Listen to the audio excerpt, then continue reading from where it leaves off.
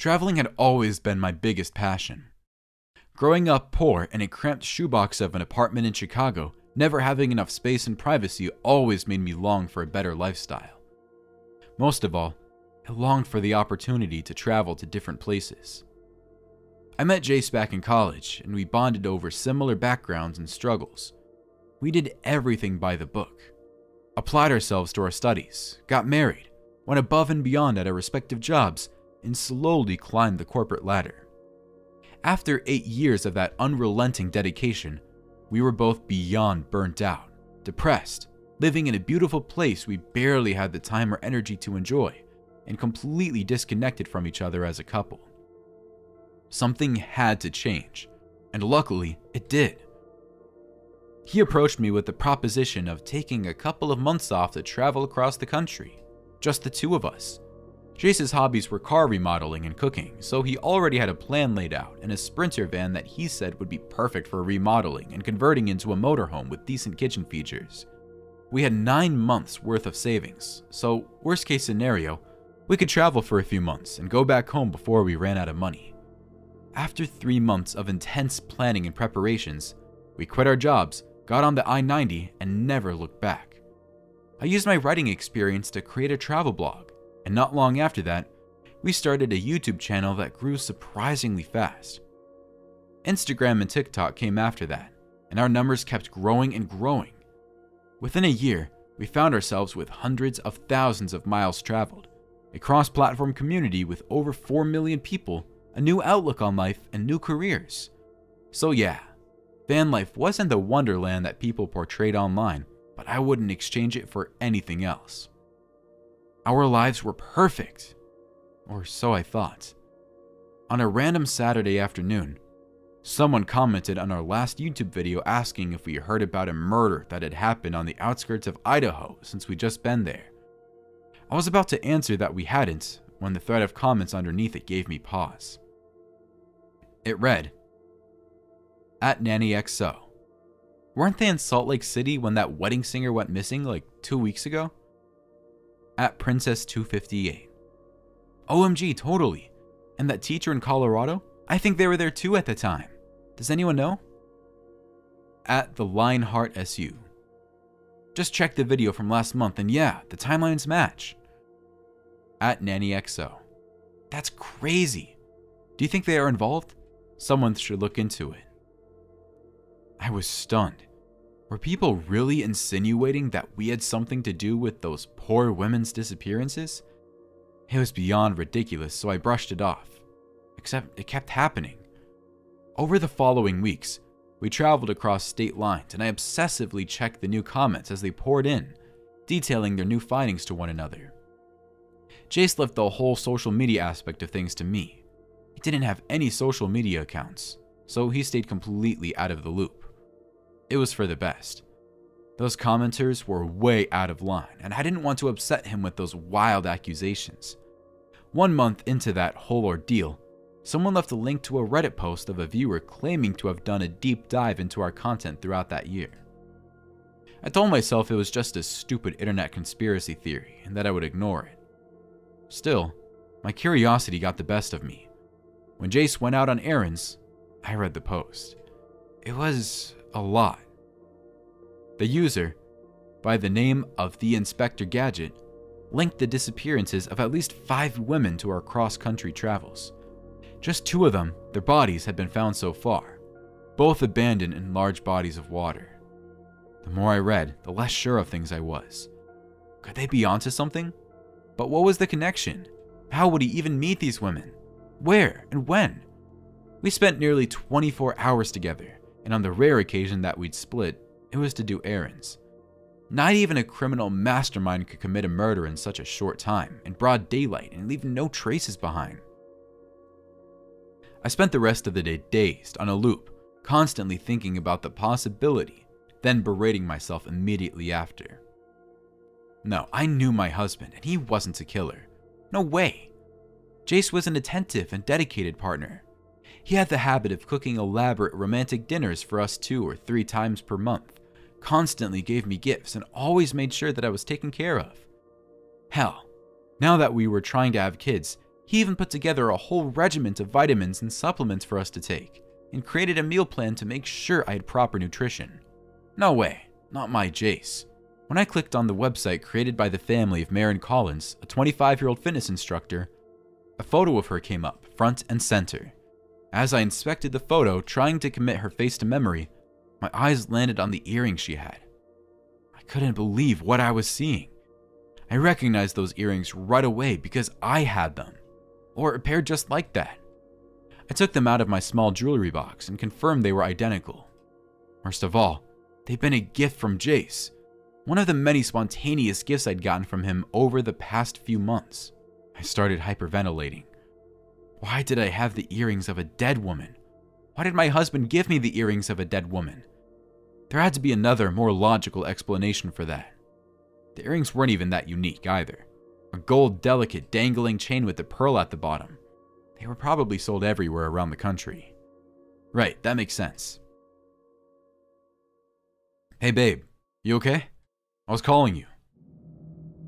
I was so distracted, freaking out, that I failed to notice him returning. I looked up at him, hoping I could mask my emotional state. He would never forgive me for suspecting him. No, yeah, sorry. I'm just feeling a little off today. I didn't sleep well either. You took melatonin yesterday? I nodded without taking my eyes from the screen, removing all the traces of my research. Well, don't forget to take your supplements today. I already got your vitamin D for this month, too. A sudden chill went down my spine. Over the last couple of months, Jace had been extra diligent about me taking vitamins and supplements to get my body ready for the baby. But he took supplements too, and they were all easily accessed inside the cupboard. Not all of them, my mind supplied.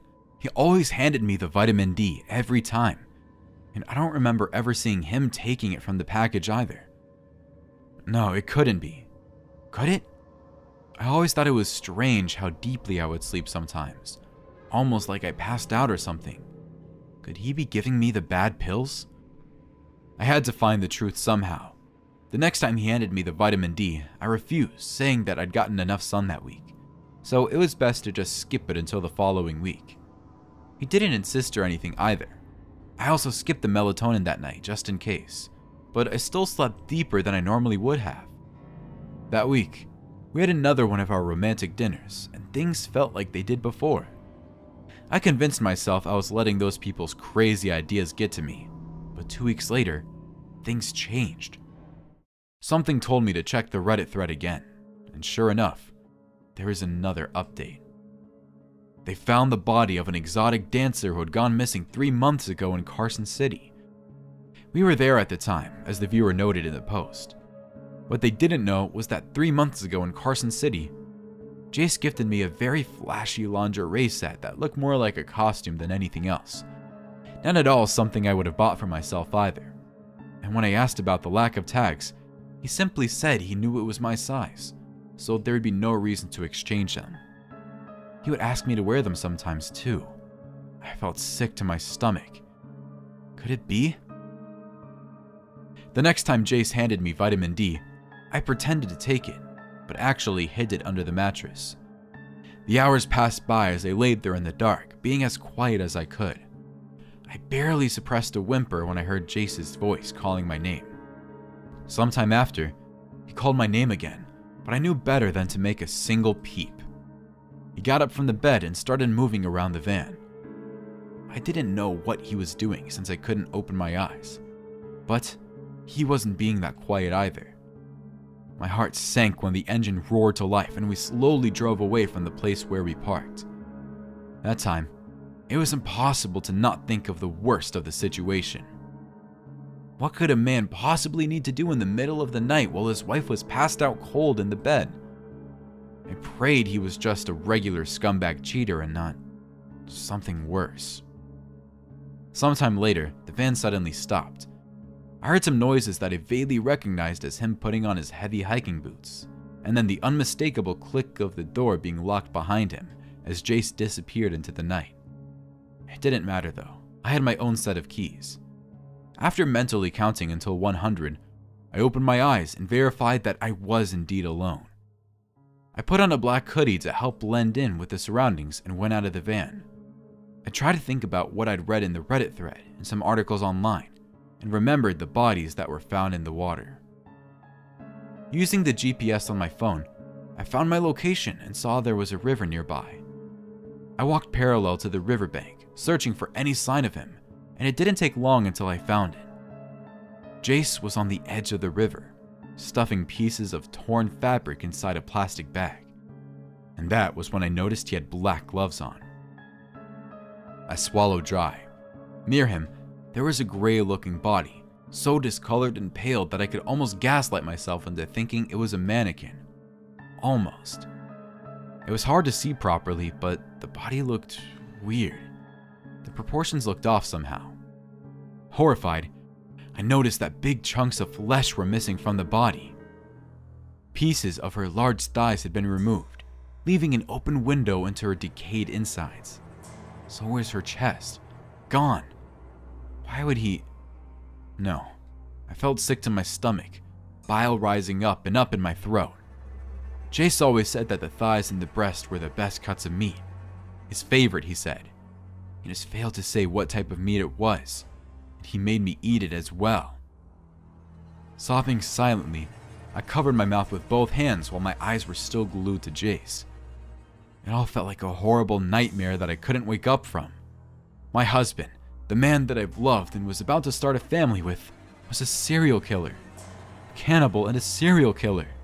It was too much to handle, and at that time, I couldn't suppress a deep sob. And in the quiet of the night, Jace heard me. He looked up, his eyes searching for any sign of movement as he prepared to attack. I knew then that the man I thought I knew didn't exist. He would kill me, just like the others. I had to get away from there and fast. I wasn't strong like Jace, but I was smaller and faster. So as I turned around and ran, I prayed it would be enough. My desperate breaths were almost as loud as Jace's heavy footsteps behind me. I overestimated my speed because with every step I took, his sounded closer and closer. But I could already see the road ahead, and if I got out of the darkness of the woods, there was a chance I would make it. Except, Jace's heavy body tackled me to the ground, and we both rolled over the damp earth. You bitch! He spat in a tone I'd never heard from him before. With his big hand around my neck, he squeezed over and over again. I tried pushing him away, but he was simply too strong. My own husband was about to kill me. A distant headlight briefly passed by, lighting bits and pieces of us both. Suddenly, everything stopped. Anne? And that was the moment I realized that, because it was pitch black, he hadn't noticed that it was me he was chasing until that very moment. His hold around my neck loosened, and I could muster a few words. Jace, what are you doing? Annie, I'm sorry, I didn't know it was you. He begged, checking my body for injuries, even though it was too dark to see. Even though he was the one that hurt me. You can't tell anyone, babe. I made a mistake. You can't tell. When wet droplets started falling on my face, I realized he was crying. As he babbled nonsense on and on, I searched around me for anything I could use to defend myself. My right hand landed on a heavy rock with slightly pointed edges. It was now or never. I aimed at where his voice was coming from and swung the rock as hard as I could. He grunted and slumped to the side. Anne, I wasn't going to hurt you. Yeah, right. Tell that to the other women you killed, you sick dog. He was down, but not out. I had to hit him again, or I was done for.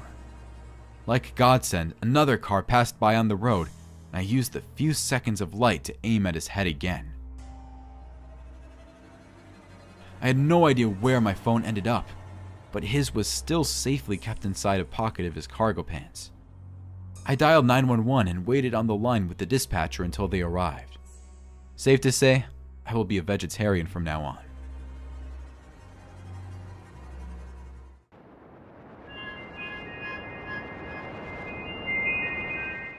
My sister Lily took me to the Burning Man last year. I usually didn't join Lily on her wild adventures, but I had just gotten dumped by my boyfriend and I needed a distraction. On our first day there, as we were exploring the area and looking at all the weird art installations, a really handsome bearded guy named Clay introduced himself. He noticed Lily and I were checking out an art exhibit made out of old motorcycles. He asked us what we thought about it. Honestly, I thought it was really ugly, but I didn't say anything. I'm glad I didn't because Clay said that he created the piece himself. He seemed really proud of it too. For the rest of the festival, we ended up spending a lot of time with Clay. He and Lily seemed to really hit it off. I liked him well enough, but it was obvious that my sister was the one he really felt a connection with. He had this artistic spirit, just like Lily. He'd come to music festivals throughout the year and really dive into the experience, and then he'd go back to work as an IT guy. Lily worked in retail, but her lifestyle was pretty similar to his. At the end of the three days there, I was more than ready to go back home. I really needed a shower. Plus, I needed to sleep in a real bed. I told Lily that I was glad that I went, but I never wanted to go again. She understood, especially since I didn't meet a guy like she did. So we packed up all our stuff into our little rented RV and got ready to head out. Clay came over and invited us to come visit him sometime. Lily said yes, though I really hoped that she was just being polite. A guy like Clay is fun to be around at some random music festival, but he's not the kind of person I want to hang out with in the real world. I would have forgotten about him completely, but about a month later, Lily started getting these really nasty messages from a bunch of anonymous accounts. Someone had found her on Facebook and Instagram and TikTok, pretty much all of social media, and they were saying the nastiest things. She kept reporting the harassing accounts, but as soon as she got those blocked, somebody else popped up. It sounded like it was all coming from the same person. Lily really started to freak out.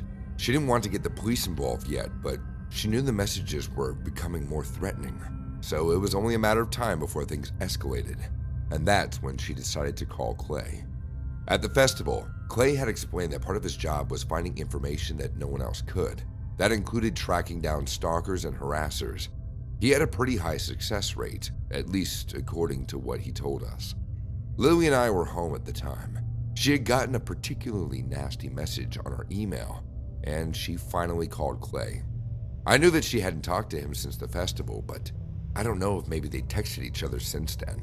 After all, they did really hit it off. Lily kept everything on our speakerphone so that I could hear. She and Clay talked about the online harassment and the best way to stop it. She read aloud some of the messages she received, and Clay sounded genuinely disgusted. He let her finish. Then he said that he'd finally identified the harasser within the week. He spent a lot of time building online contacts and staying active on the deep web where his messages couldn't be traced. Honestly, he made himself sound like a hacker or something. He didn't ask for payment or anything. Lily was just so grateful that she promised to come visit him as soon as this craziness was over. After the call, I was nervous that Clay wasn't going to come through. He seemed like the kind of guy who overpromised and underdelivered, but Lily seemed 100% confident in him.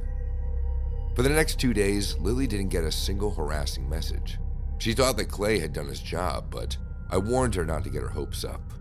She called him for an update, but he didn't answer. I left Lily alone for a couple hours to run some errands, and when I came back, I saw Clay's truck parked in the front of our yard. He'd come to see Lily. I parked on the street since the driveway was blocked, and I started to head inside. When I got to the porch, I froze. Clay and Lily were talking in the living room, and I could hear their voices through the window. They were talking about me. I'm so sorry, he said but it looks like your sister was the one who was posting about you. I can't believe it, Lily said. Why would she do that? Because she's jealous of you. She doesn't want us to be together. Clay was going to say something else, but then he turned and looked right at me. I'd been caught. I slowly walked inside, ready to defend myself against Clay's obvious lies. I was closer to Lily than anyone else, there was no way that she'd believe his story. When I stepped inside, both Clay and Lily looked at me like I was some terrible criminal. Lily even stepped behind Clay so that he could protect her against me. You don't believe him, do you? I asked her. Lily looked down at a piece of paper in her hands. I guess Clay had printed out some fake evidence against me. She thought for a long moment and then asked me, Why are you doing this? I'm not, I shouted. I stepped forward, ready to grab the bogus evidence in her hands, but Clay stood in front of me, puffing up his chest. I think you should leave. This is my house, too. Clay and I started loudly arguing with each other. Lily just watched the whole thing horrified. I looked at Lily, my eyes pleading her to believe me. I told her that he was lying. He was probably the one harassing her all this time. It was some big twisted plan to stay in her life. For a second, I thought she believed me, but then she stepped forward and pushed me. Get out before I call the police. I was heartbroken. I couldn't believe my own sister would trust some computer stranger that she met at Burning Man over her own blood. I knew Clay was manipulating her, but if I stayed any longer, I'd just make the situation worse. I turned around and left. I knew that I could stay with my friends for a while, but I wanted to help Lily first. So I drove straight to the police station and explained the situation to the police. The man did a quick Google search of Clay. He didn't even need to use the deep web to find out that Clay had a criminal record for harassment and stalking. He printed out the file and I took a photo of it on my phone to show Lily. She never responded to my message. That afternoon, I came back home. The whole place was empty. Clay and Lily were gone, and most of her stuff was taken too. It's been months now. I'm still working with the police to track down Lily, but I'm slowly losing hope. She made a horrible choice when she decided to trust him, and I'm terrified of what happened to her.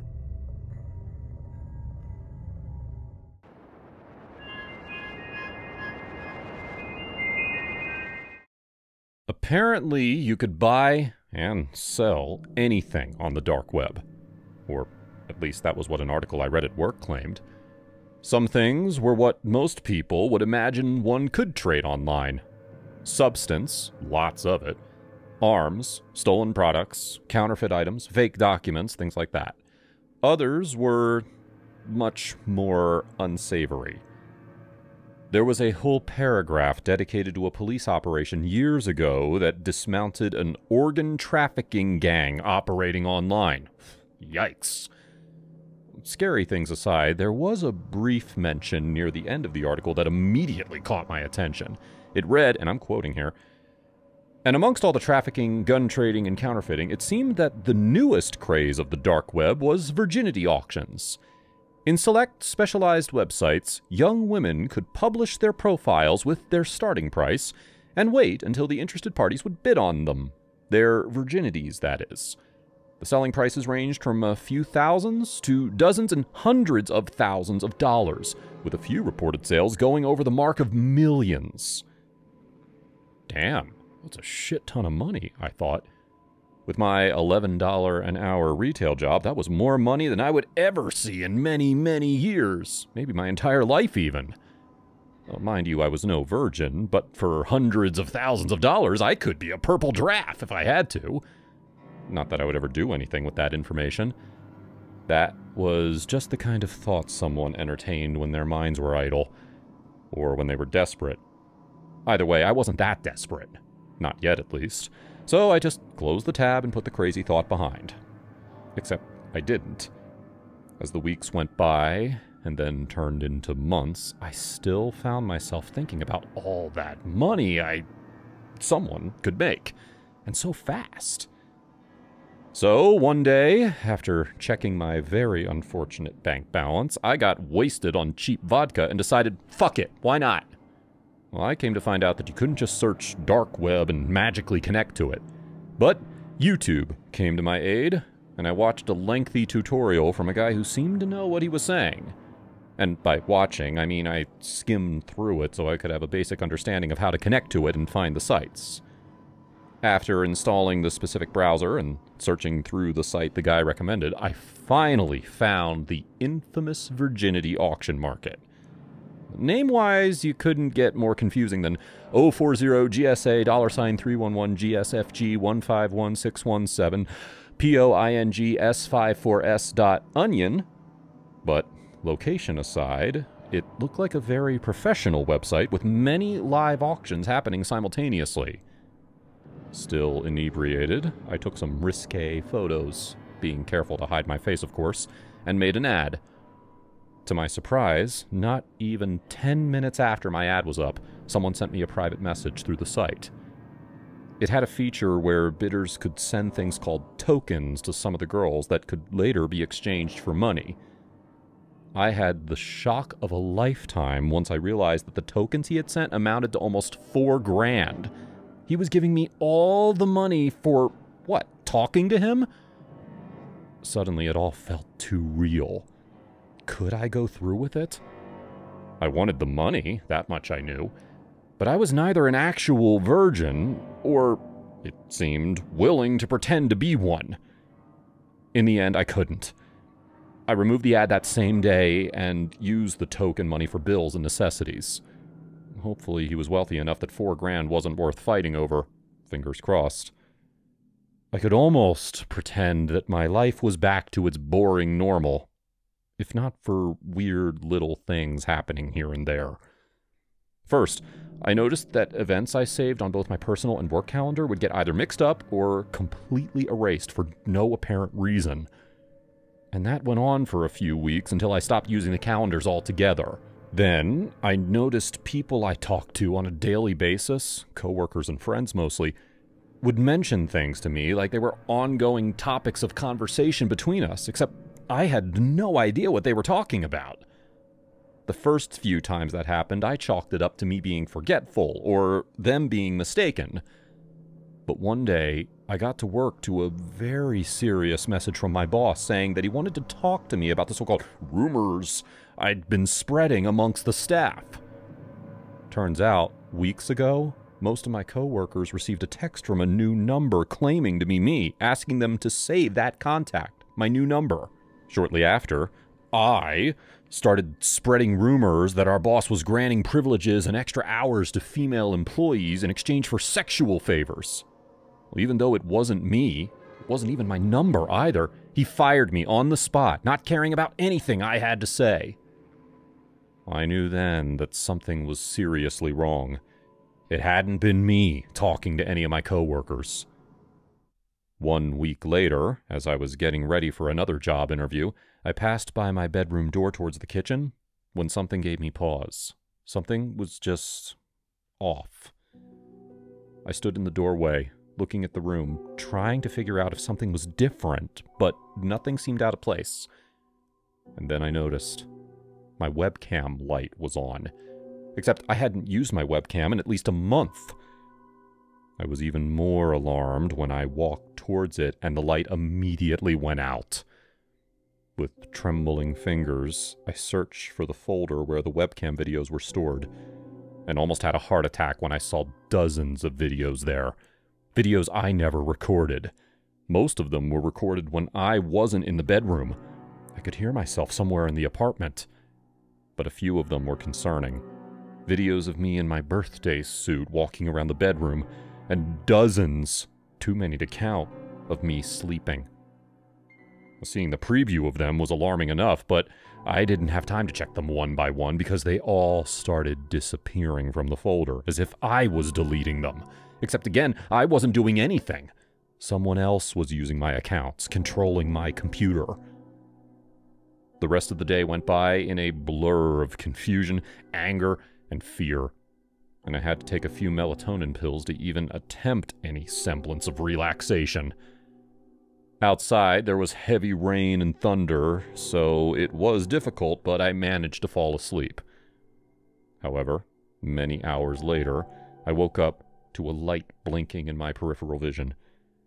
At first, I thought it might have been lightning, but when my brain supplied to me that the light was red, I knew immediately what it was. The webcam was on again.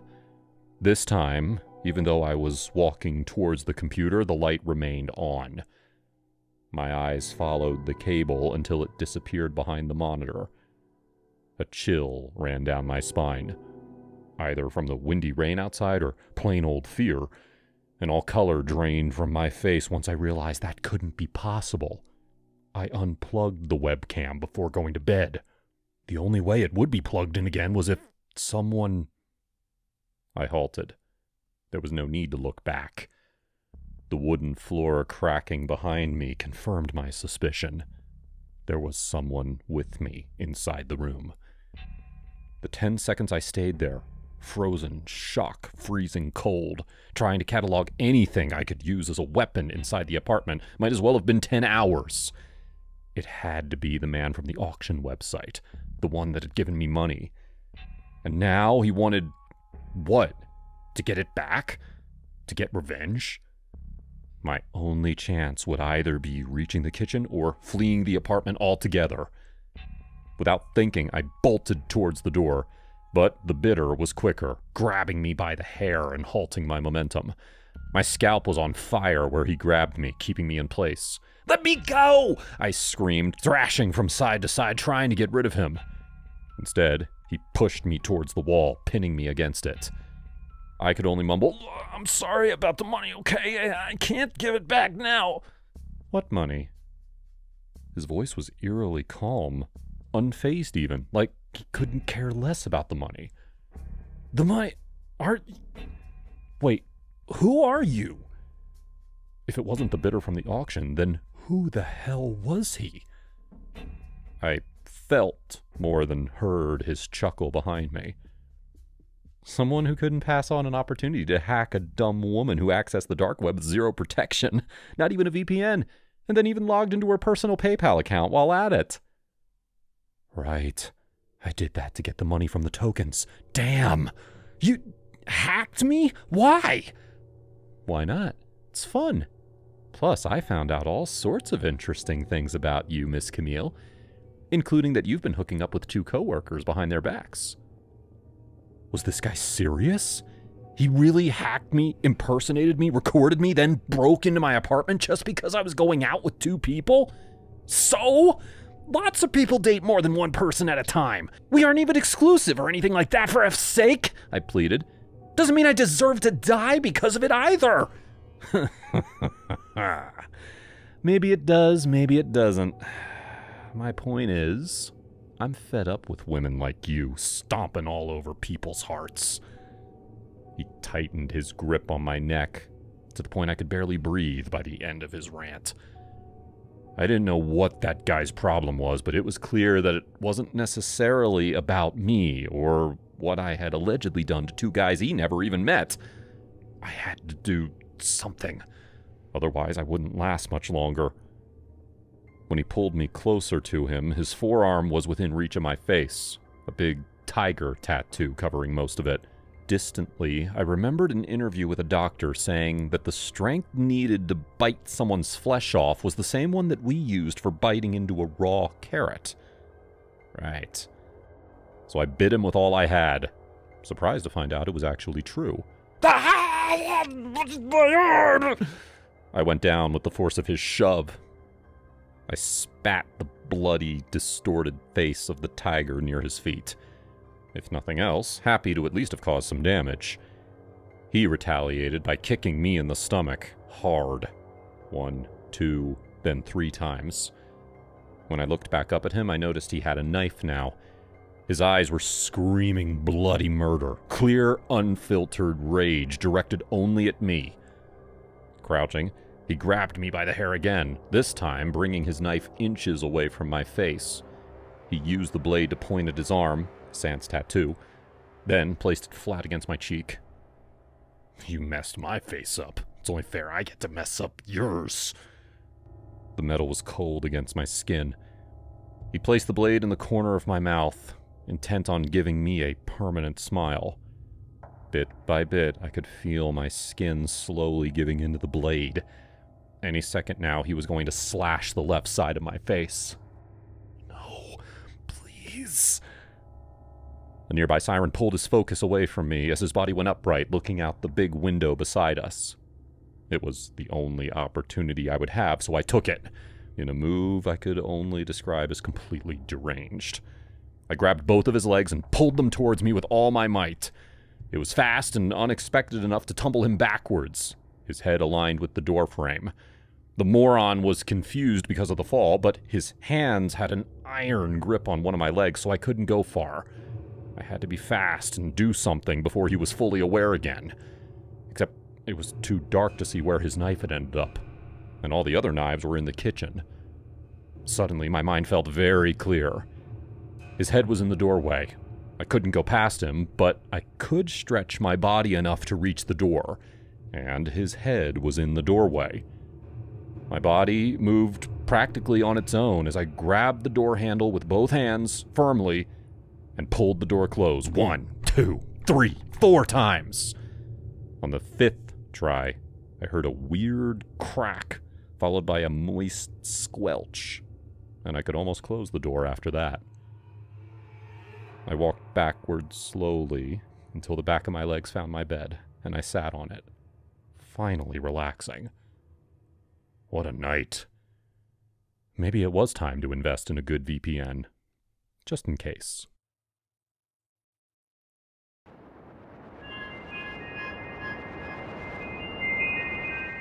I loved my boyfriend Tony, but he was an absolutely terrible gift giver.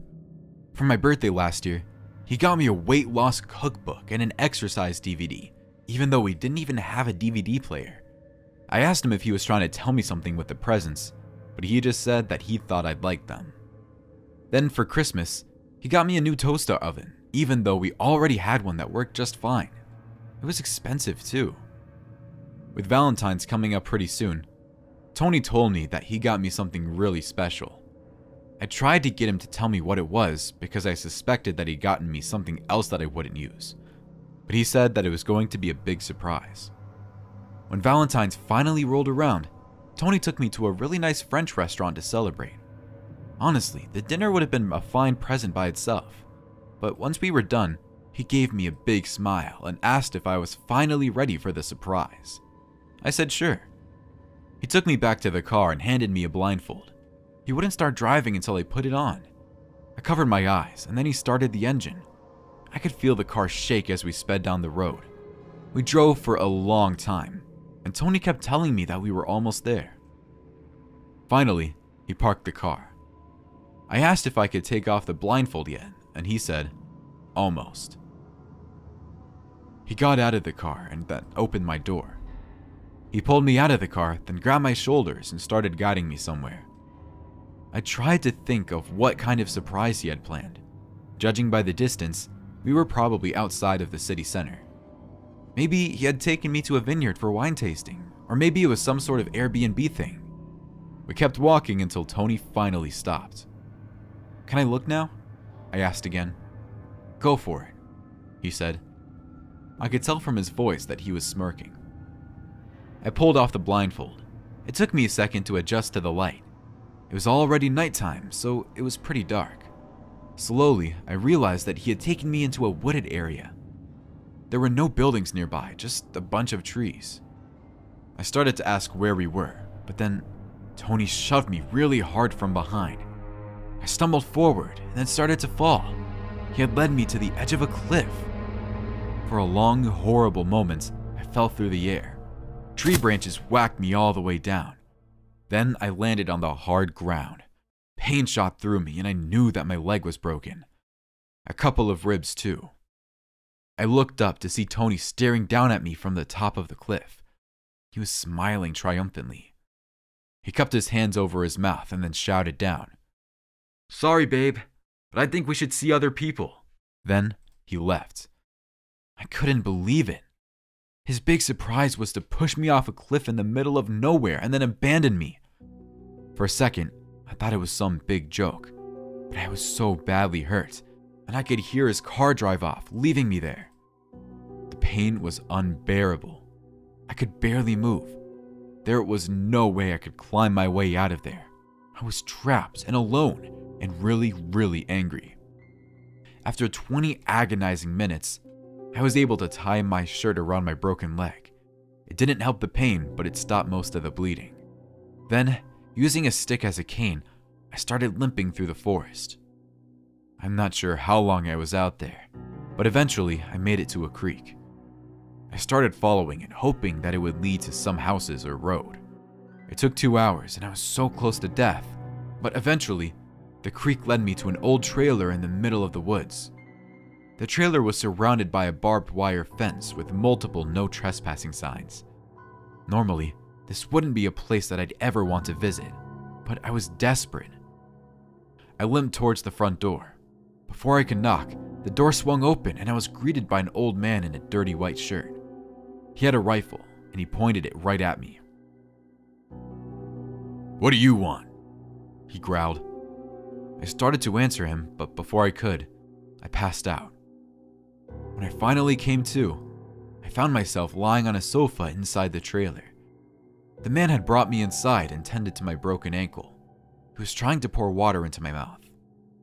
Now that I was conscious, he asked me what had happened. I told the man everything. He just listened, his face completely blank. When I was finished, he asked me where I lived. I gave him my address, assuming that he'd take me back home. Then I told him that my boyfriend was still there.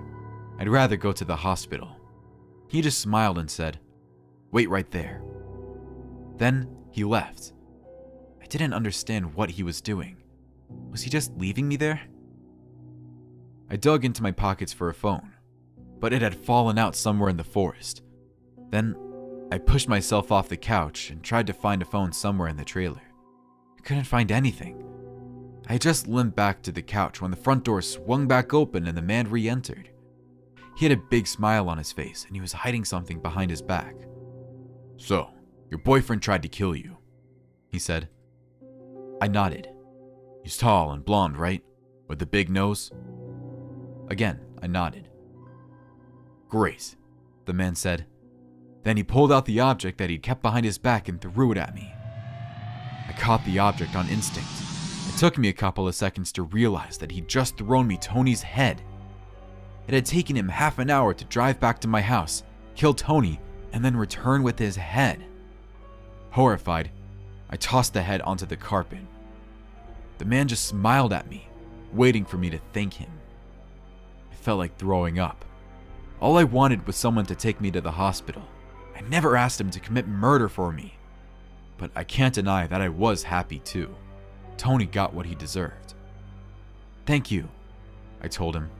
Now, can you please take me to the hospital? He did. The doctors were able to stitch up my injuries and gave me a cast. I'm still recovering, but at least I don't have to worry about Tony anymore. It turns out that he was the one who got a big surprise this Valentine's.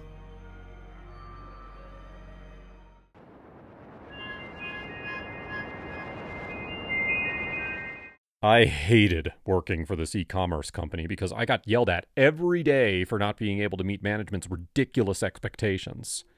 They fired me because I didn't finish my assigned route, but let me tell you why I didn't finish it. To say I had a good reason is an understatement.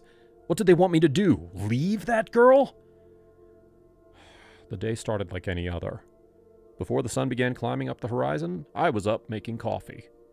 I filled up my 34 ounce coffee tumbler and was on my way. I was never a morning person, but one thing I loved about that job was watching the sunrise. This particular morning, the sun cast a deep pink color across the clouds with yellow streaks. When I arrived at the warehouse, I was informed I would be covering someone else's route, along with my usual one. I needed the money, so I welcomed the overtime. The route I picked up would take me deep into the swamp. The rural routes were the worst because time moved so slowly with such long distances between stops. I took the news with a smile, collected all the packages for both routes, and was on my way. My usual route took me seven hours. It was mostly in the suburbs, so it was easy and predictable. Lots of dogs barked at me. Some places had front doors I had to hunt for. At one of the stops, a cat came out and greeted me. Once all those packages were delivered, I pivoted to the other route. The first stop was a 45 minute drive from where I was. I sighed and said, So it begins. Rural routes have about the same number of packages as urban ones, but fewer stops. It takes just as long to do the rural routes because you drive for so long between houses. It was business as usual until I rolled up to this hut of a home.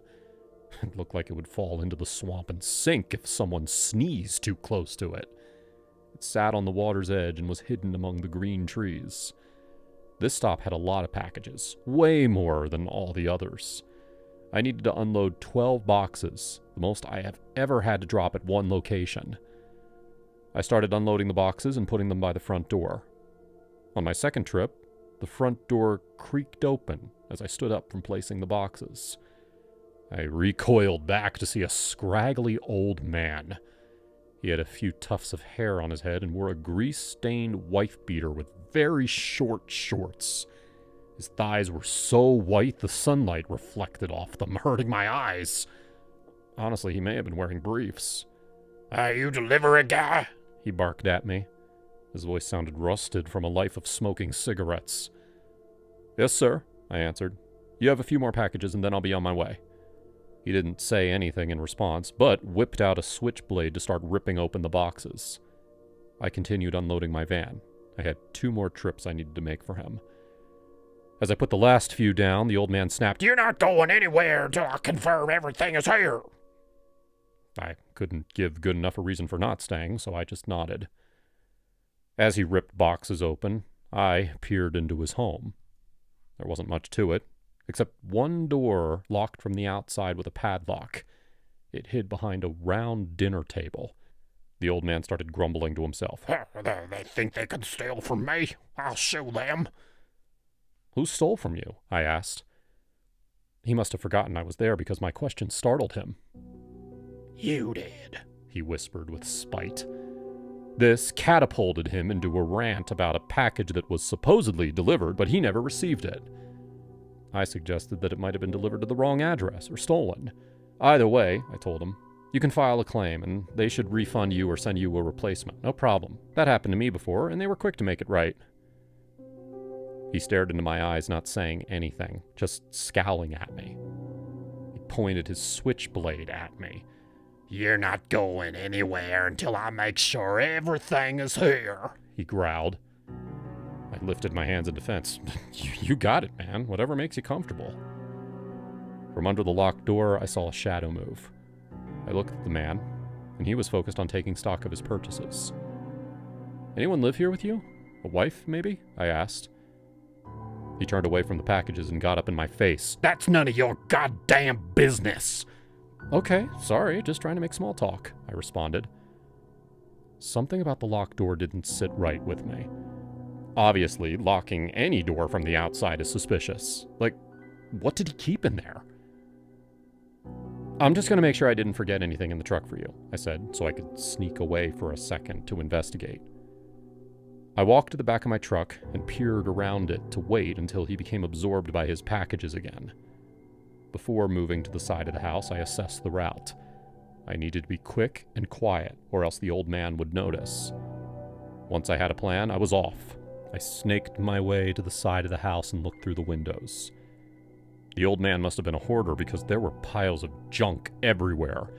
Flies danced in the air in every room. I couldn't see much of the kitchen, but I could see the peak of a mountain of dishes. After a few more steps, I could see into the locked room. The windows had newspapers taped over them, but I found one small hole that allowed me to peek in. I couldn't believe my eyes. There was a pregnant young woman who couldn't have been more than 21 years old. Her blonde hair was so long. Must have been years since her last haircut. In her room, I could make out a tattered mattress on the floor and a large stack of books that looked like each must have been read five times. The girl spotted my eye in the hole. She gasped and held her stomach. She put a finger over her mouth to signal me to be quiet. It's not like I was going to holler at the old man, but who knows the last time she saw someone? She mouthed, Help. Carefully, I made it back to my van. I looked at the old man. He now had his phone out. He must have been cross checking the app. I took out my phone to call the authorities, but had no service. I returned to the old man and tried to figure out what to do. That girl had been locked up for years by the looks of it. I wondered if anyone had ever called the police on the man before. Was he the kind that could change his demeanor and fool the police to get them to go away? I felt he may have been, because to keep someone hostage for so long, you have to have some evasion skills. I wondered if I had anything that could break the lock in my van. But then I had my idea. Excuse me, sir, is there any chance I could use your bathroom? I don't get to stop very often, so might as well now that I have a chance. He looked me up and down. He turned to look in his house and turned back to assess me again. Sure. Follow me, he said. I thanked him, and he led me inside. Piles of junk were divided by skinny walkways so he could move through his home. I followed him to the bathroom and he motioned to it. I had to squeeze by him to get into the bathroom without knocking over his clutter. The bathroom was disgusting. The old man probably never cleaned it. The toilet was such a dark brown it looked black. I planned to find something in his home to smash the lock, but he didn't leave the bathroom door. I saw his shadow below the door, waiting to escort me out. I looked around the bathroom. The heaviest thing I could find was the lid of the back of the toilet. I peed to keep up appearances. I grabbed the toilet lid and opened the door slowly. Did you wash your hands? He asked, disgusted. Before I could process that he, of all people, commented on my hygiene, I lifted the porcelain lid and smashed it on his head. It cracked in half. The old man collapsed, knocking over a bunch of newspapers. I jumped over him and headed to the locked room. As I hurried over, I tried to find bolt cutters or something to break the door open. Out of the corner of my eye, I saw an axe. Quickly, I grabbed it and climbed over all the old man's junk to break the door down. Get away from the door! I yelled at the girl. At the first swing of the axe, I heard her gasp behind the door. I kept swinging until a big enough hole was created to kick down the rest. The girl was crying. I extended my hand and helped her through the hole. The man began to grumble and get up. Hey! He yelled. What the hell do you think you're doing? Do you have any idea who you're stealing from? The girl paid him no regard and bolted to the door. We couldn't move that fast because of how pregnant she was, but we made it to the van before the old man could get on his feet. I helped her into the passenger seat and buckled her in. I backed my van out and sped away. We went to the nearest police station to file a report. The girl explained how she wasn't sure how long she had been there. She had been there so long she couldn't remember her real family.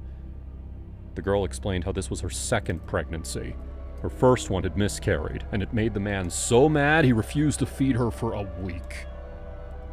The police returned to the old man to take him into custody, but they found him dead. He had taken his gun and shot himself in the head.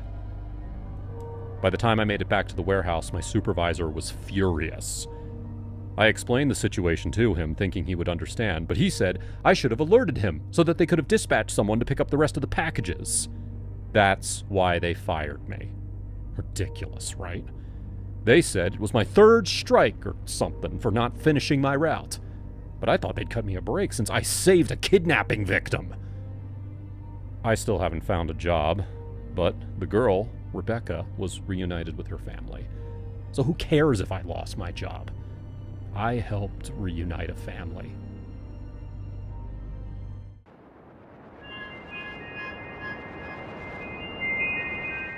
My brother Graham moved to New York City a few years back. I'd always wanted to visit him, but I never had enough money. It took me a while, but I finally saved up enough to afford a one week trip. I'd be able to stay in Graham's apartment, so I wouldn't have to spend anything on hotels. When I told him about it, he seemed really excited. My brother and I had always been very close, even though I hadn't seen him in person since he moved. On my first day there, he took a day off from work and showed me around to all the touristy places. We went to Central Park for a bit and then ate at this cute diner he was always raving about. In the evening, Graham took me to Times Square for dinner. We walked around for a bit just as the sun was setting. It seemed like a very cool, very busy place. Graham guided me past some of the bigger shops towards a restaurant he was excited to take me to. He and his ex girlfriend had been there a few times, but just for special occasions. He wouldn't tell me what it was, but he assured me that I'd love it. We ended up in this really fancy looking French restaurant pretty close to the subway station.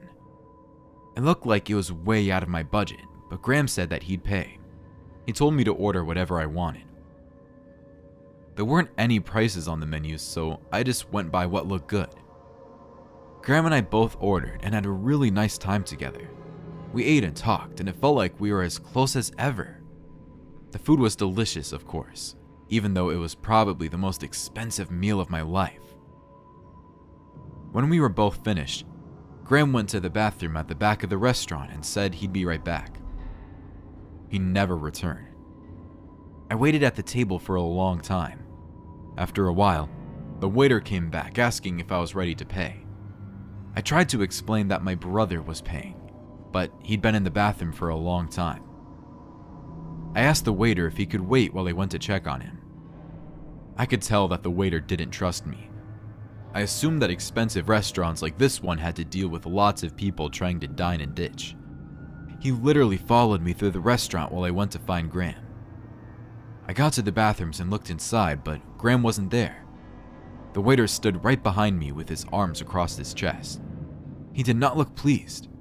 I think he assumed that I was trying to trick him. I pulled out my phone to call Graham's number, but he didn't answer. I was about to try again when Graham sent me a text message. Sorry, I had to go. I'll pay next time. Happy emoji face. Couldn't believe it. My own brother had set me up. He knew that I didn't have enough money for a place like this, and he just abandoned me here so I'd have to pay the bill. I was furious. By then, the waiter called over his manager.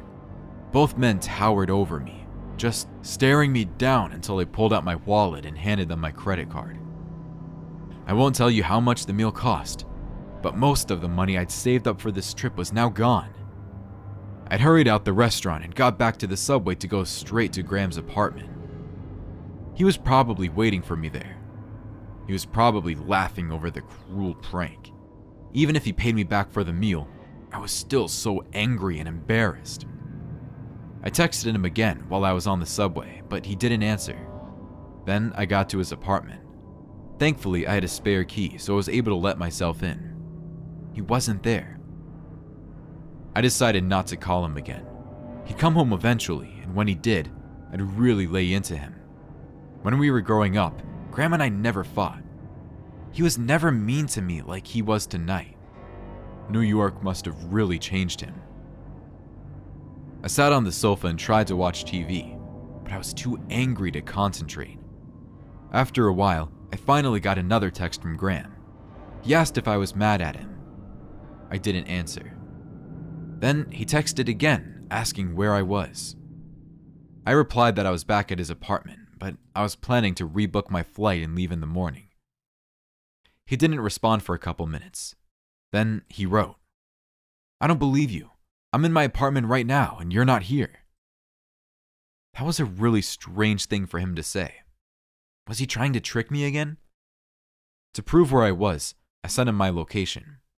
Then, I put my phone on the table. He sent me another message, but I didn't read it. A half hour later, I heard Graham trying to open the door. I stood up to confront him. But when the door opened, it wasn't Graham on the other side. It was a woman I never met before. She had a gun at her side and demanded that I leave right away. Normally, I'd comply, but I'd never been in such a dangerous situation before, and I was still so angry about everything that had happened that night. I was done being pushed around. I stood up straight and told her no, I wasn't leaving. She raised the gun, pointing it right at my face. I don't want to shoot you, she said, Good, I told her. So get out. She cocked the gun and started walking toward me. I backed away until my back was against the wall. I instantly regretted standing up to this woman, whoever she was. Okay, I said. I'll leave. Too late, she said, laughing. The window was right behind me. I reached back and pushed it open. I figured that I could climb out onto the fire escape if things got violent. But when I glanced over my shoulder, I saw that there was no fire escape. Just empty air and a long drop to the ground 10 stories below. Now trapped, I raised both my hands and told the woman that I was leaving. I tried to inch past her, but she kept pointing the gun at my face. Don't you move, she said. You are just as bad as that stupid man. As soon as she said that, I realized who she was. This was Graham's ex girlfriend Amber. I never met her before, but I'd seen photos. I didn't know the specifics of their breakup, but I knew it wasn't pretty. And now here she was with a gun. Please, I said. Graham's not here. He left me in Times Square. I know, she said. I was there. She explained that she'd seen Graham take me to her favorite restaurant, the place where they'd gone on their first date together. She felt so betrayed that he'd bring another woman there that she confronted him in the bathroom. Things got violent and he escaped through the bathroom window. Now it all made sense. Graham didn't want to leave me at the restaurant. He was forced to flee. He obviously didn't send those text messages.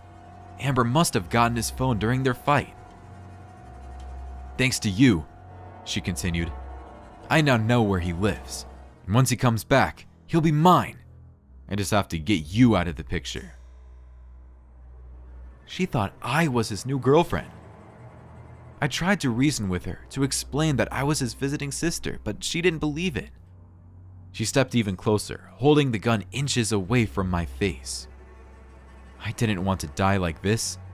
I had to act fast. I said the one thing that would set her off. He never loved you. Then, I ducked out of the way as she fired the gun. The bullet flew straight out the window. With my head down, I rushed forward, knocking Amber off her feet. I was trying to push her onto the ground, but I didn't expect her to fumble forward and fall through the window. One second, she was there. The next, she was gone. I looked out the window and saw her lying dead on the ground far below. I called the police right away. Before they arrived, the door opened and Graham rushed back inside. He hugged me and apologized. He tried to tell me what happened to him, but I already knew. I told him to look out the window so he could see what was left of his psycho ex girlfriend. When the police arrived, I had to tell them the whole wild story. I worried that they wouldn't believe me, but I guess Graham had already filed for a restraining order against Amber, which did a lot to corroborate our story. The cops left, and Graham finally apologized for the worst night of our lives. Without his phone, he had no way of calling me to warn about his ex. He was just glad that I was able to defend myself. After that, Graham and I had a wonderful vacation together. Despite everything that happened that first night, I'm glad I went.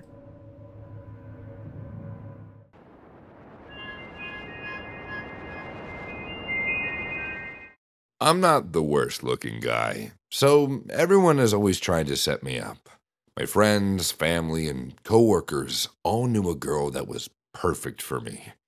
They knew I hated dating apps because I somehow always attracted the clingiest girls. I swear, stage 5 clingers had a sixth sense for me. I let my sister set me up one time with one of her friends, but she talked about her two cats the entire time. I may have been perfect for her, but she was not perfect for me. I didn't let anyone set me up again until my mom suggested Jessica, the daughter of one of her church friends. Jessica and I had known each other since middle school. She was always one of the weird, kind of ugly girls, but she grew up to be a smoke show. When my mom suggested it, I didn't hesitate to say yes. I wanted the date to go well, so I planned something special. From what I knew, Jessica was a school teacher. She really enjoyed reading and drawing. Overall, she sounded like a normal, well adjusted lady. I planned for us to have a picnic on a lake, and if it went well, we could take a rowboat out in the water, like they did in the notebook. Jessica looked stunning when we met at the park. She wore a baby blue dress that hugged her curves and let her auburn hair fall around her face in loose curls. She was impressed by the picnic. Jessica told me that a guy had never put so much thought into a date with her. I told her all the other guys were fools for not going all out for her. The date was going well until she started going on about something called a twin flame. Apparently, she was part of a digital school dedicated to helping people find their twin flames, and her pastor confirmed that I was her twin flame. So, what are they, like soulmates? I asked uneasily. "Mm, Kind of. Jessica was eager to talk about it. Twin flames are much more passionate than soulmates. They're meant to push each other to grow into the people we're supposed to be. Okay, I started. Uh, how do you know it's me? Because the past confirmed it. He and his wife had special insight and can identify twin flames. I brought you up in one of our sessions, and without hesitation, he said it was you. It's exciting. Not everyone meets their twin flame in their lifetime, so we've been given a gift. The whole thing was a major turnoff for me. Jessica was hot, sure, but she was too crazy for me. She talked about moving in with each other on our first date, and I had to tell her that she was moving a little fast for me. And by the end, I just wanted to get away from her. After the date, I texted her, telling her I thought it would be best for us to remain friends because I wasn't interested in pursuing anything romantic with her. Jessica freaked out. She sent me about 20 texts about how I was spiritually blocked. And if I enrolled in this class, which was $2,000, I would see the truth. Jessica went crazy. I had to block her on everything, but that didn't stop her. She created new accounts to message me. She started following me. Soon enough, I saw her everywhere bars, restaurants, grocery stores. I had to find new places to go, but she always sniffed me out. I ended up getting a restraining order and had to call the police one time to detain her. I told my mom to talk to her friend to get a handle on her daughter. The school Jessica talked about turned out to be some type of digital cult, so Jessica cut ties with her family entirely. None of them have heard from her to this day. The real trouble started when I began dating my now wife, Betty. Betty and I met at a bar and hit it off. She was an accountant and wanted to take things slow. Jessica learned about Betty and started harassing her online. She told Betty that our relationship would never be as passionate as Jessica's and mine's. But Betty thought I was cheating on her and had to assure that Jessica was just a nut job in a cult. Jessica started stalking Betty. She started dressing and talking like her. She started going to the same gym as her and copied Betty's routine. Jessica even tried to befriend Betty, but Betty knew who she was and told her to leave her alone. Betty and I got more serious to the point that I proposed to her.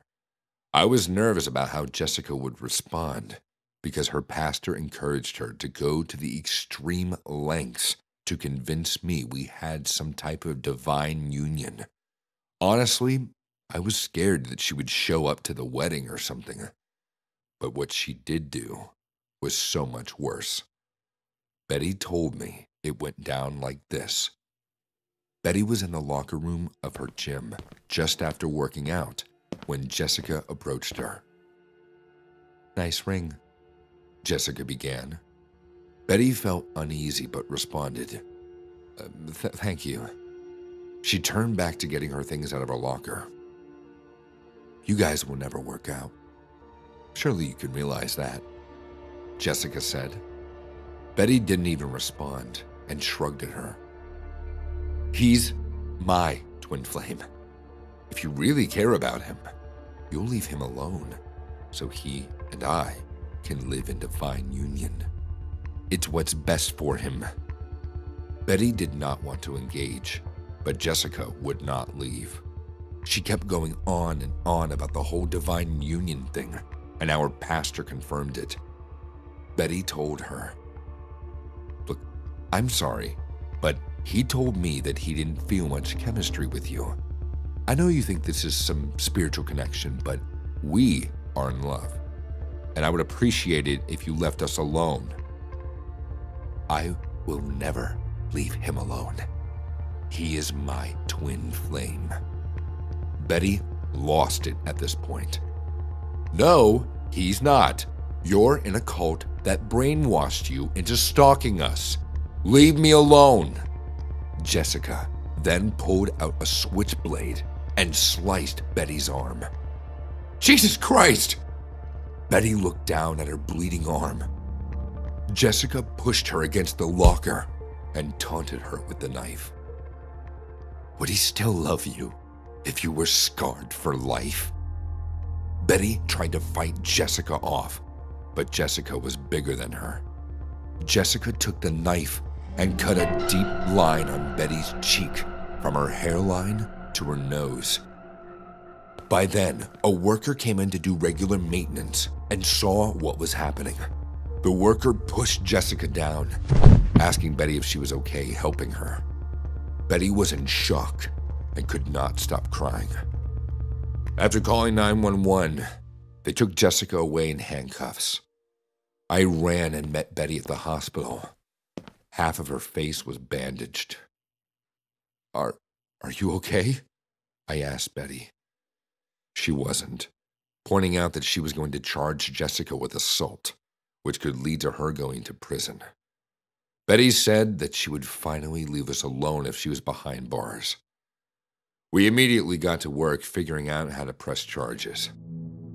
Jessica was sentenced to two years in prison, charged with assault with a deadly weapon, and three years of probation. Not as long as we hoped, but for a couple years, all Jessica would do was send me letters, and she sent many.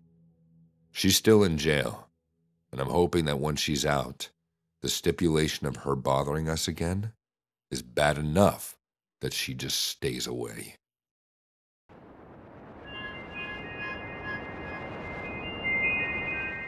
Sometime last year, I started dating this guy named Steve. He seemed perfect. He was handsome and caring, and he had a lot of money. I felt really comfortable with him. The only problem was that I wasn't being completely honest with him about my past. I met him right after I had moved to the city to escape my crazy ex boyfriend Miguel. I went through hell in my last relationship and really had trouble talking about it with anyone. On my first date with Steve, obviously I didn't tell him anything about Miguel. But then we kept on seeing each other, and I started to have real feelings for him. I didn't know how to bring up Miguel. Like, it was never the right time to talk about something so heavy.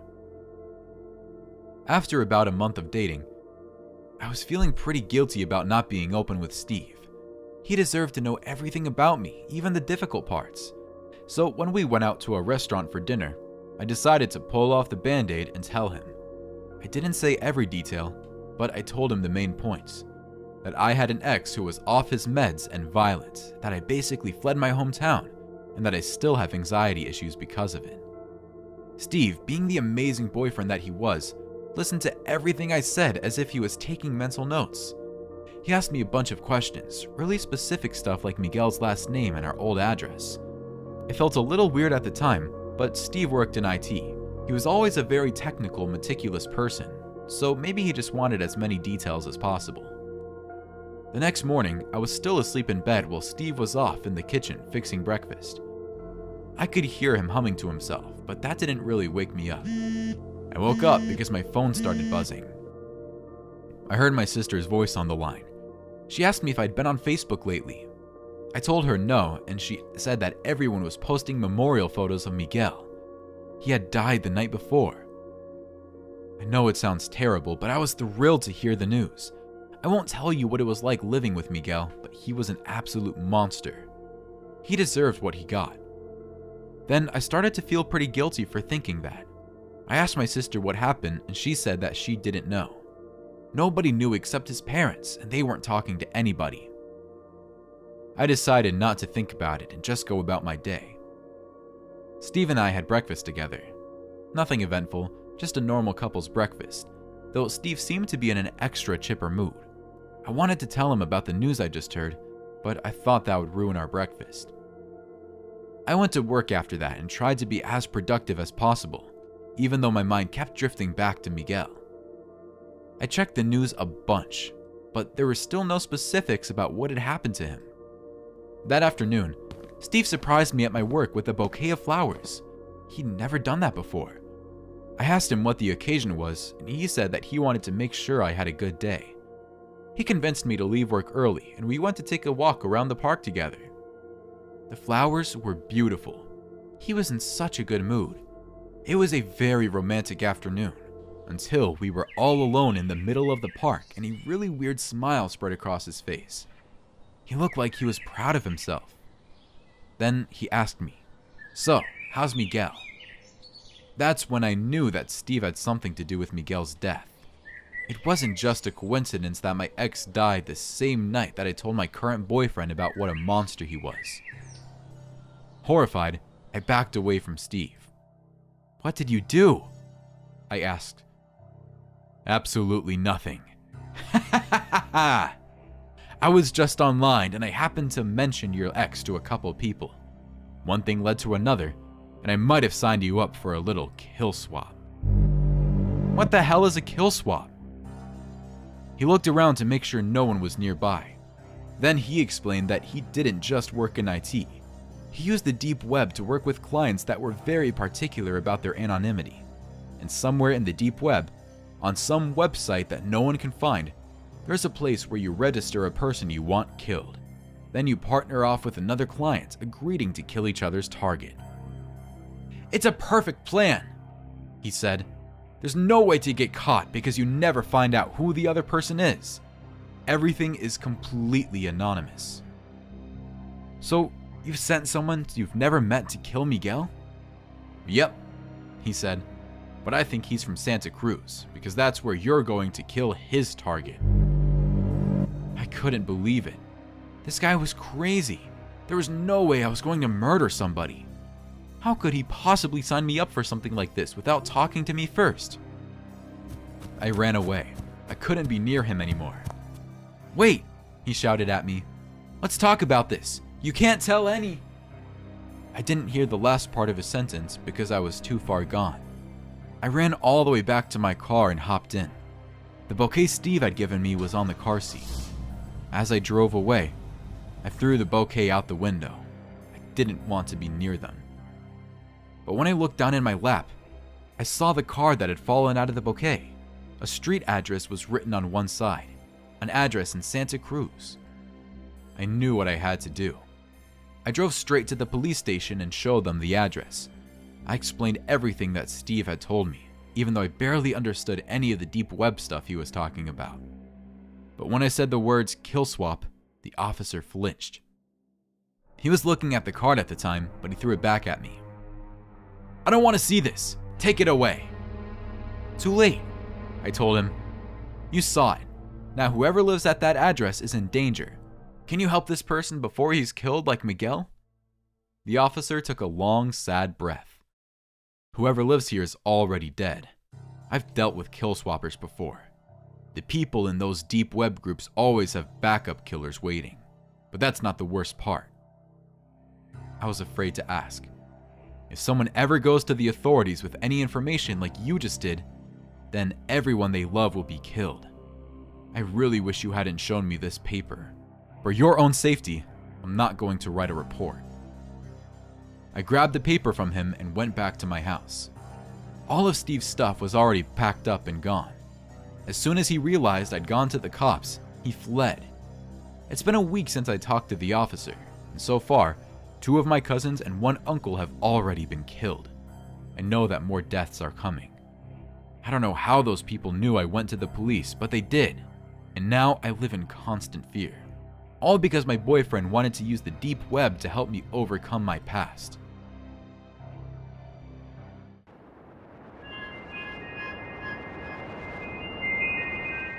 I lived with my younger sister Lucy.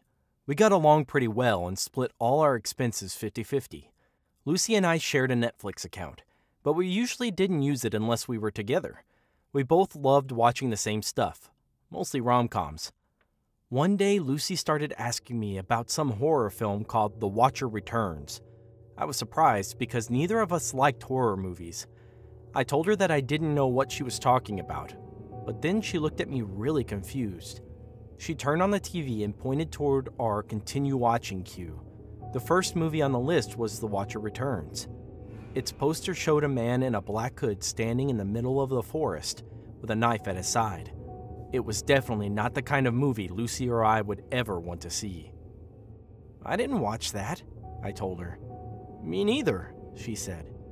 I was a little scared at that point, but Lucy didn't seem bothered.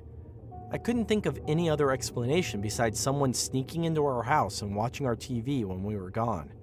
Lucy said it was probably just someone stealing our password. I don't know if I believed that, though. And even if it were true, I didn't want some horror movie watching stranger knowing our passwords. Lucy suggested that we click on it and see for ourselves. Maybe one of us had turned it on and just forgotten about it. The screen said that the movie was already half finished. I told her no. There was no way that either of us would have watched a horror movie and then forgot about it. Besides, there was something about that movie that really freaked me out. The hooded man on the poster looked almost too real. I grabbed the remote out of her hands and turned off the TV. The next day, I couldn't stop thinking about that movie. I kept remembering the poster image of that hooded man. When I got home from work that afternoon, I turned on the TV just long enough to change our password, and then I turned it right off again. I ended up going to sleep pretty early, but in the middle of the night, a scream from my living room woke me up. Thinking it was my sister, I jumped out of bed and ran through the hall. When I got to the living room, the TV was on. I could tell right away that The Watcher Returns was playing. There was a hooded man on the screen strangling a woman to death. The quality of the video was really grainy, like I was watching some home movie from the 90s. No one else was in the room. The TV had turned on by itself. I raced across the room and grabbed the remote. By the time I turned off the TV, Lucy had finally woken up. She walked into the room and asked me why I was still awake. I told her that the movie was playing. I didn't need to say the title because she knew exactly what movie I was talking about. We both stood there in silence for a long moment. Once again, I was a lot more scared than my sister.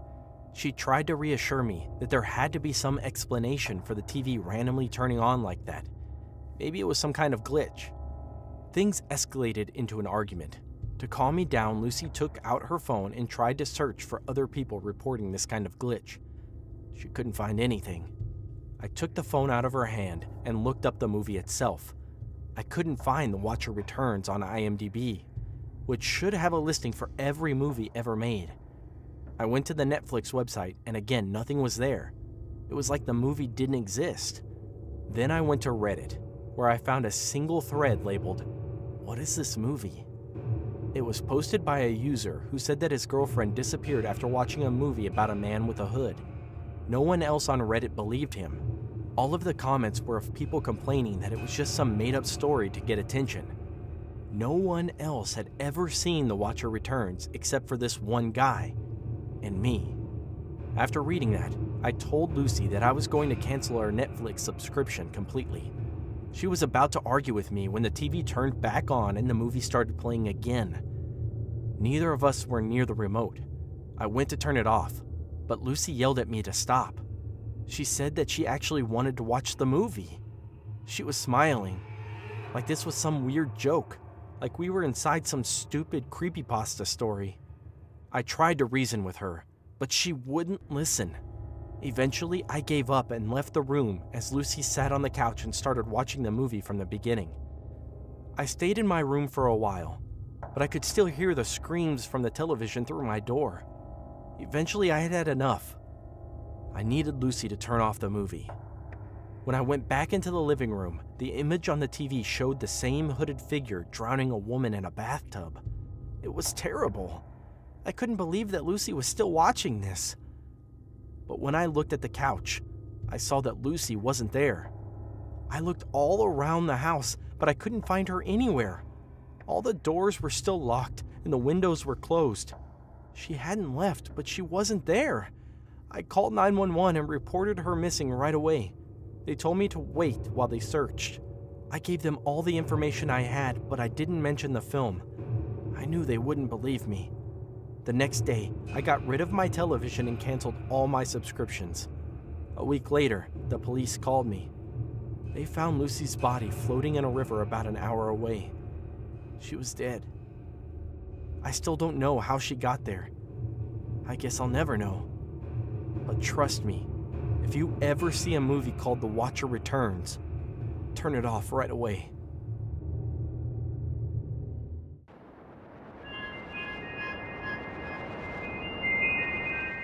Last year, I started college in a small town in Massachusetts where my mom had grown up. My Aunt Lucy still lives in the town, and I asked her if I could stay at her house for the first semester. Unsurprisingly, she said no. She'd always been a really cold person. My mom always said that Lucy was jealous of her, but I didn't really believe that. I always thought that she was just mean. When the semester started, I ended up taking out an extra loan and paying for the cheapest dorm on campus. It was awful. My roommate Taryn was a real party girl. She would wake me up at all hours of the night and I could barely sleep. After three weeks of putting up with Taryn, I had finally had enough. I needed somewhere where I could sleep throughout the night.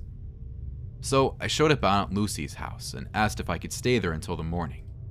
She could tell that I was desperate, so she reluctantly agreed. It was nice to be in the old family home. This was where my mom grew up, and I'd never been there before. My mom had died in a car accident about a year before, so I felt like I was somehow reconnecting with her. Aunt Lucy gave me a tour of the place and set me up in the upstairs guest room. She told me that I could go anywhere in the house, but I had to stay out of the attic. She said it was dangerous up there. I agreed. It didn't seem like a big deal. But in the middle of the night, I woke up to sounds coming through the ceiling. Footsteps. Someone was walking around in the attic. Before my mom had died, she used to sleepwalk. I thought that maybe Aunt Lucy was doing the same thing, which would have been pretty bad if the attic was as dangerous as she had said. So I got out of bed and walked to the pull down door on the hallway ceiling. I yanked on the rope and a little trap door opened up. A wooden ladder unfolded to the floor. I climbed up the ladder and stuck my head into the attic. It was very dark up there. I looked around, but I couldn't see anything. I couldn't hear anything either. Then, I heard chains rattling and footsteps rushing toward me. A woman ran out of the darkness, her hair covering her face. I was so startled, I fell backwards off the ladder and onto the floor. The fall knocked the wind out of me. When I looked up, a woman was peering down at me. I could see that her wrists were chained up so she couldn't climb down the ladder. Who are you? I asked. The woman pulled the hair out of her face, and I gasped. It was my own mother. How could she be here now? She was dead. Someone grabbed my shoulder and pulled me to my feet. It was Aunt Lucy. I told you not to look in the attic, she screamed. My mother's alive? I asked. She's chained up in here? Aunt Lucy shook her head sadly. That's not your mother, she mumbled. It sure looked like her. The woman babbled unintelligibly, closing and opening her mouth like a fish. She was trying to talk to me, but I could see that her tongue was gone. I could tell by her desperate expression that she wasn't a threat. She was begging for my help. I pushed Aunt Lucy and started back up the ladder. I raised my arm toward the woman, ready to untie her wrists and find out what had happened to her. I was halfway up the ladder when Lucy grabbed me by the waist and pulled me back down. That's not your mother, she said again. Then who is it? It's your mother's identical twin, our other sister. Our family has kept her hidden all her life, ever since she killed our father. My mom always told me Grandpa died of cancer, but I guess not. That's her twin? I asked. Yes, said my aunt. And did mom know about this? Of course she did, Lucy said. Your mother has always been racked with guilt over what happened. That's why she drove off the road. She couldn't handle the guilt. I couldn't imagine doing this to my own family member. It was unhuman. I demanded that Aunt Lucy let this woman go. I can't, Lucy said. She's a murderer. She'll be taken to jail. It's better than being locked up in an attic, I said. She's filthy and starving. Aunt Lucy tried to hold me back, but I grabbed her by the shoulders. I held her down and demanded that she give me the keys to that woman's shackles. Without any other choice, Aunt Lucy pulled off her necklace, revealing that she was wearing the keys on her neck. I ripped off the keys and then scrambled up the ladder. Mom's twin babbled something, but I couldn't understand her. I grabbed her wrist and started to unlock the chains. From the hallway below me, Lucy screamed for me to stop. I refused. I untied my poor aunt, and she wrapped me in a big hug. Even though she was much sicker and thinner than my own mother, it still felt like I was hugging my mom. It felt nice. She's going to kill you too, Lucy screamed. The woman tried to tell me something else, but I still couldn't understand the noises that were coming out of her mouth. So she gave up and shoved her palm into my face. It took me a while to realize what this woman was doing. She was showing me a scar just below her thumb, the same scar that my mother had. That's when I realized that Aunt Lucy had been lying to me. This wasn't my mother's twin. This was my mother. Aunt Lucy had faked my mom's death and kept her here all this time. She chained her to the wall and cut out her tongue. But why? I looked down to see Aunt Lucy slowly raise the ladder. You should have listened to me, she said. Then she closed the door, trapping both me and my mother in the dark attic. I was now alone with my mom. There was no escape and no way to call for help. The attic had a tiny window overlooking the yard, but the house was too secluded for anyone to be close enough to see us. In the dim light, Mom used charades to explain what happened. It was just as I thought. Lucy caused the car accident. She took my mom back here and has kept her trapped here for over a year. My aunt was an absolute psycho. I felt so sad and hopeless when my aunt cut out my tongue too. Would she kill us both? Then a miracle happened. I heard a car pull up into the driveway. I looked through the tiny window and saw Taryn walk toward the house. She came to find me. I couldn't believe it. I pounded on the window so she could see me. At first, she didn't.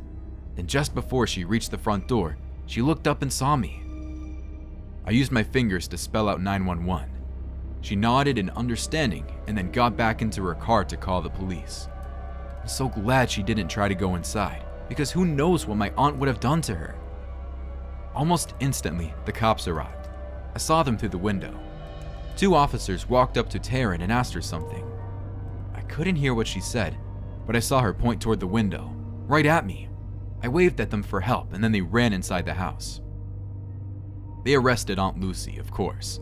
She's in a mental hospital now, and my mother is in a real hospital, recovering from the malnutrition and wounds that she'd suffered this last year. I still can't understand why my own aunt would be so cruel to her sister. I just hope that my mom can live as full of life as possible. I'm even learning sign language to help her adjust when she gets out of the hospital. Taryn and I are now best friends. We both live in my family house and carpool to campus. I don't know where I'd be without her. All I know is that as long as we're in this house, no one is going in the attic again.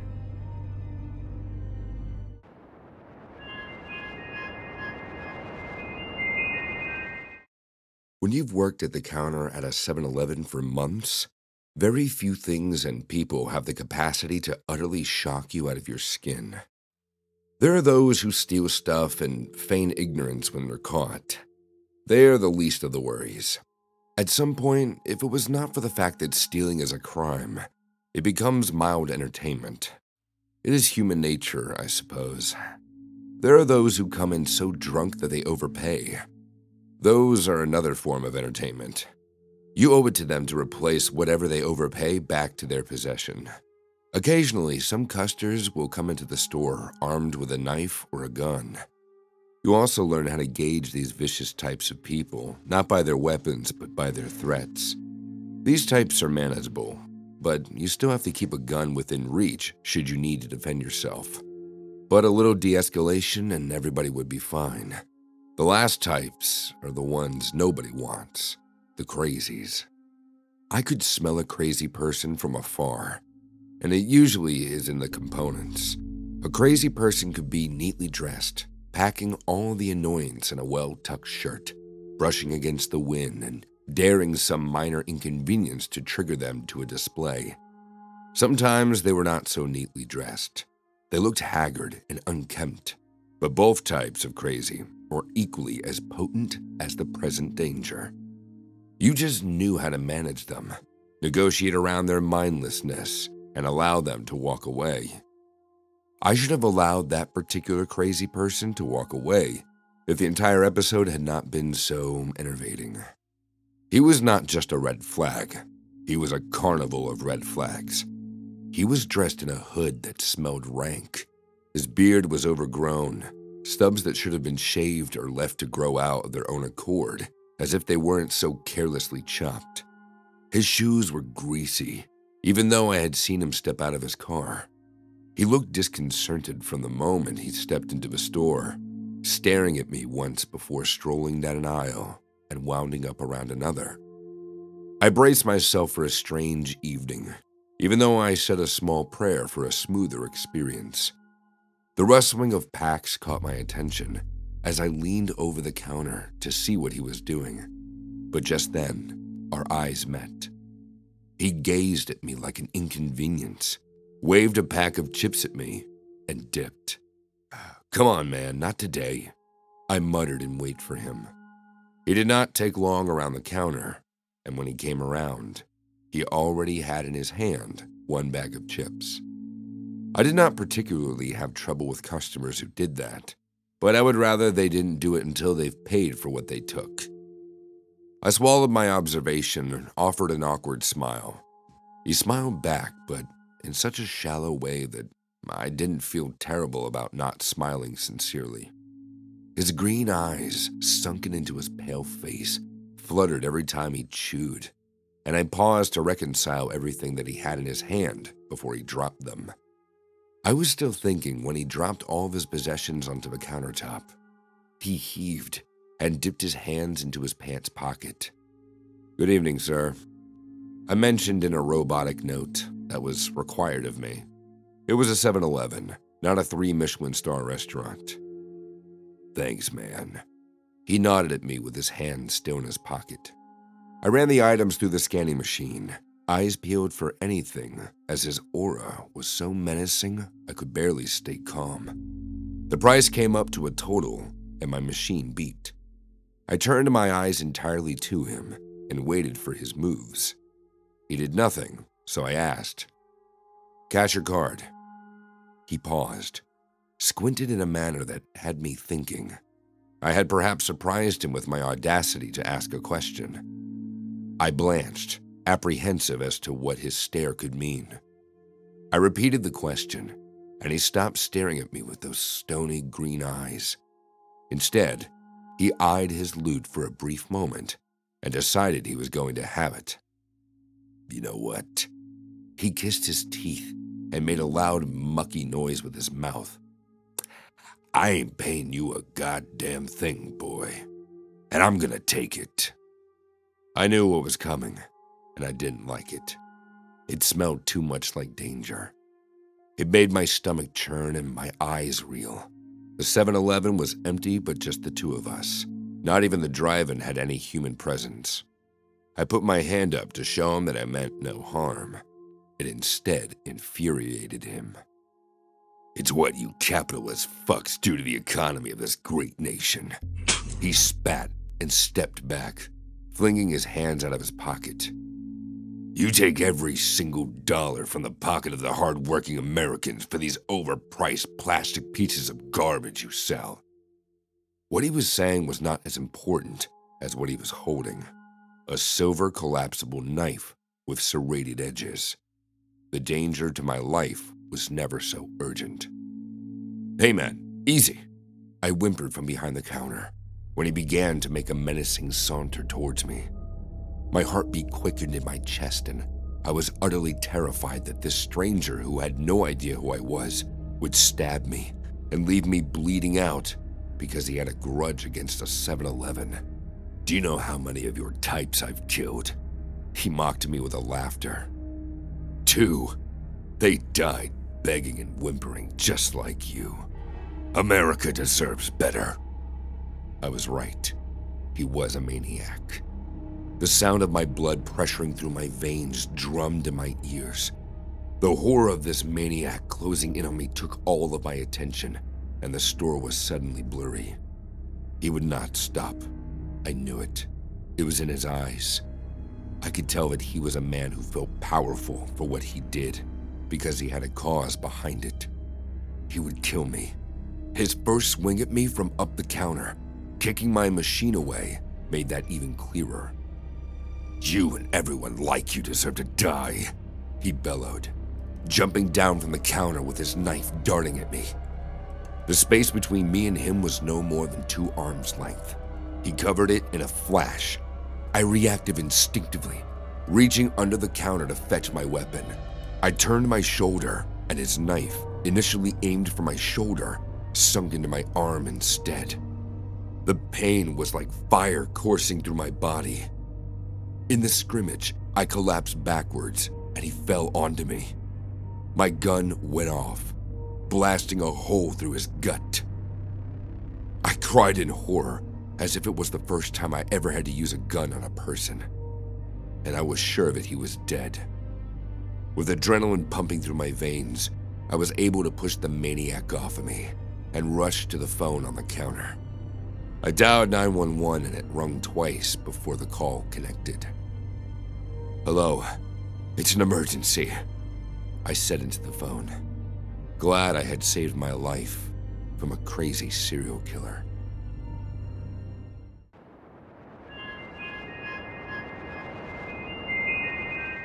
About a month ago, I met this guy on Hinge who seemed like the perfect match. His name was Nick. His photo was gorgeous, and he was interested in the same kinds of movies and books that I liked. And the best part was that he lived pretty close to my office. We chatted for a few days, and I really got to know him. He was a veterinarian, and he just moved to the city a few months before. We were both interested in more than just a hookup, so we decided to first meet for dinner at the Italian restaurant near my work. I got there first and anxiously waited to meet him. When Nick walked in, all my excitement disappeared. I could tell it was him, but he looked about 10 years older and 100 pounds heavier than his photos. He smiled at me and then waddled over. He sat across from me and said I was even more beautiful in person. I didn't know how to respond, so I just nodded. We talked for a bit. He seemed nice enough, but I already knew that I wasn't going to see him again. I have nothing against older men or overweight men, but I didn't like that he'd lied about it. People on dating apps should always use current photos. Nick ordered two entrees and scarfed them both down like he hadn't eaten in weeks. I just ordered a salad, but I knew the faster I ate it, the faster I could get this date over with. After Nick paid, he asked me if I wanted to go back to his place. I said, Not tonight. I thought that was diplomatic. He looked at me disappointed, but he told me that he understood. Then he mentioned a different restaurant that we could check out on our next date. That was the moment I should have said I wasn't interested, but I felt so awkward. Eventually, I just said, maybe. Then I kissed him on the cheek and ran out of there. I was hoping Nick would take the hint and leave me alone, but he called me about an hour later saying how much fun he had and how beautiful I was. I didn't respond. He texted me again the next day, and I still didn't respond. This went on for the rest of the week, and he just wouldn't take the hint. That Saturday, I was planning to stay at home and catch up on some chores when there was a loud knock on my door. It was Nick. He had an expensive bouquet of flowers in his hands and a big smile on his face. Surprise, he said. And it definitely was. I didn't know how he'd found my address. He asked if he could come inside, and I finally got the nerve to tell him that I wasn't interested. I was very apologetic about it, explaining that I was still hung up on my last boyfriend, Eric. That wasn't true, of course, but it was less insulting than the truth. He handed me the flowers and said that he understood, then he left. I thought that was the end of it. I was very wrong. The next day, my cousin called me. She sounded hysterical. I asked her what was wrong, and she said that Eric, my ex, had been murdered the night before. Someone had snuck into his apartment and strangled him. I couldn't believe it. I was horrified. But I instantly thought of Nick. Could Nick have done that? Was he really that insane? I got my answer about an hour later when Nick texted me again.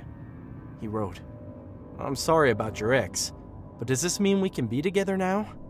I didn't respond. I drove straight to the police and showed them the message. They understood my concern, but Nick's message wasn't proof that he'd actually done something to Eric. They promised to call him in for questioning, but that was the best they could do.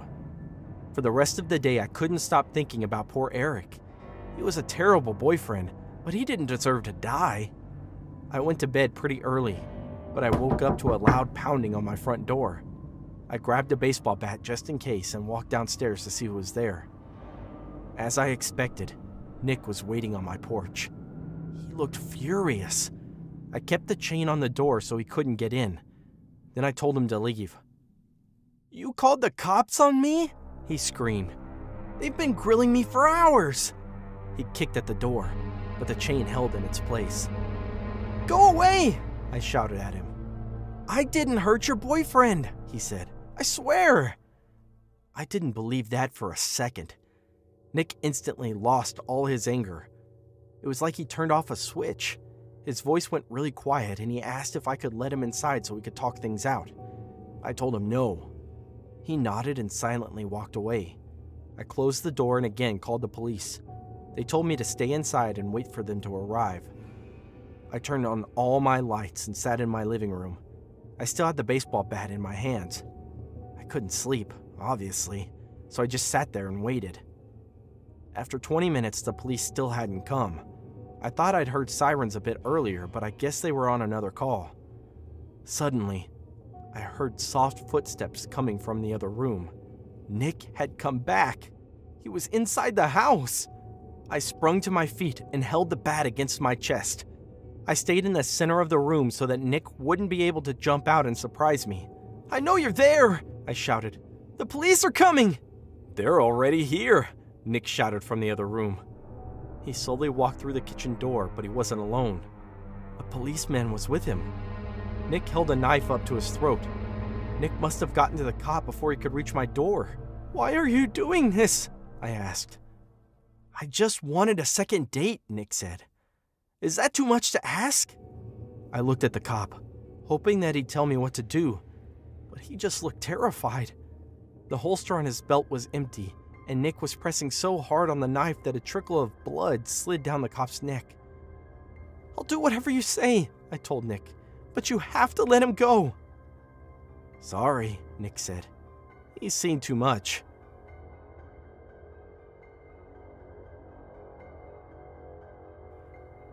I started crying. I begged him not to hurt me. It's okay, he said. Don't cry. He stepped closer with his arms outstretched. He was trying to comfort me with a hug. He still had the bloody knife, though. He wrapped his arms around me and pressed my head into his shoulder. It's okay, it's okay. Moving on instinct, I pushed him off me and then slammed my baseball bat into the side of his head. He wasn't expecting that. He toppled onto the ground, mere feet away from the cop's body. Why did you do that? he asked. I slammed the baseball bat again, this time against his hand. His knife skidded across the floor. I think I broke his wrist, too. He looked up at me, his eyes pleading for me to stop. But I didn't. I struck him again, and he fell flat on the ground. He stopped moving. Another officer arrived on the scene pretty soon after. She called an ambulance to take Nick away. He was still alive, but barely. The first cop wasn't so lucky. Nick is at the hospital right now. I'm waiting to hear if he'll recover. But if he does, it'll be behind bars. I haven't gone on a date since. I don't think I'll be ready for a long, long time.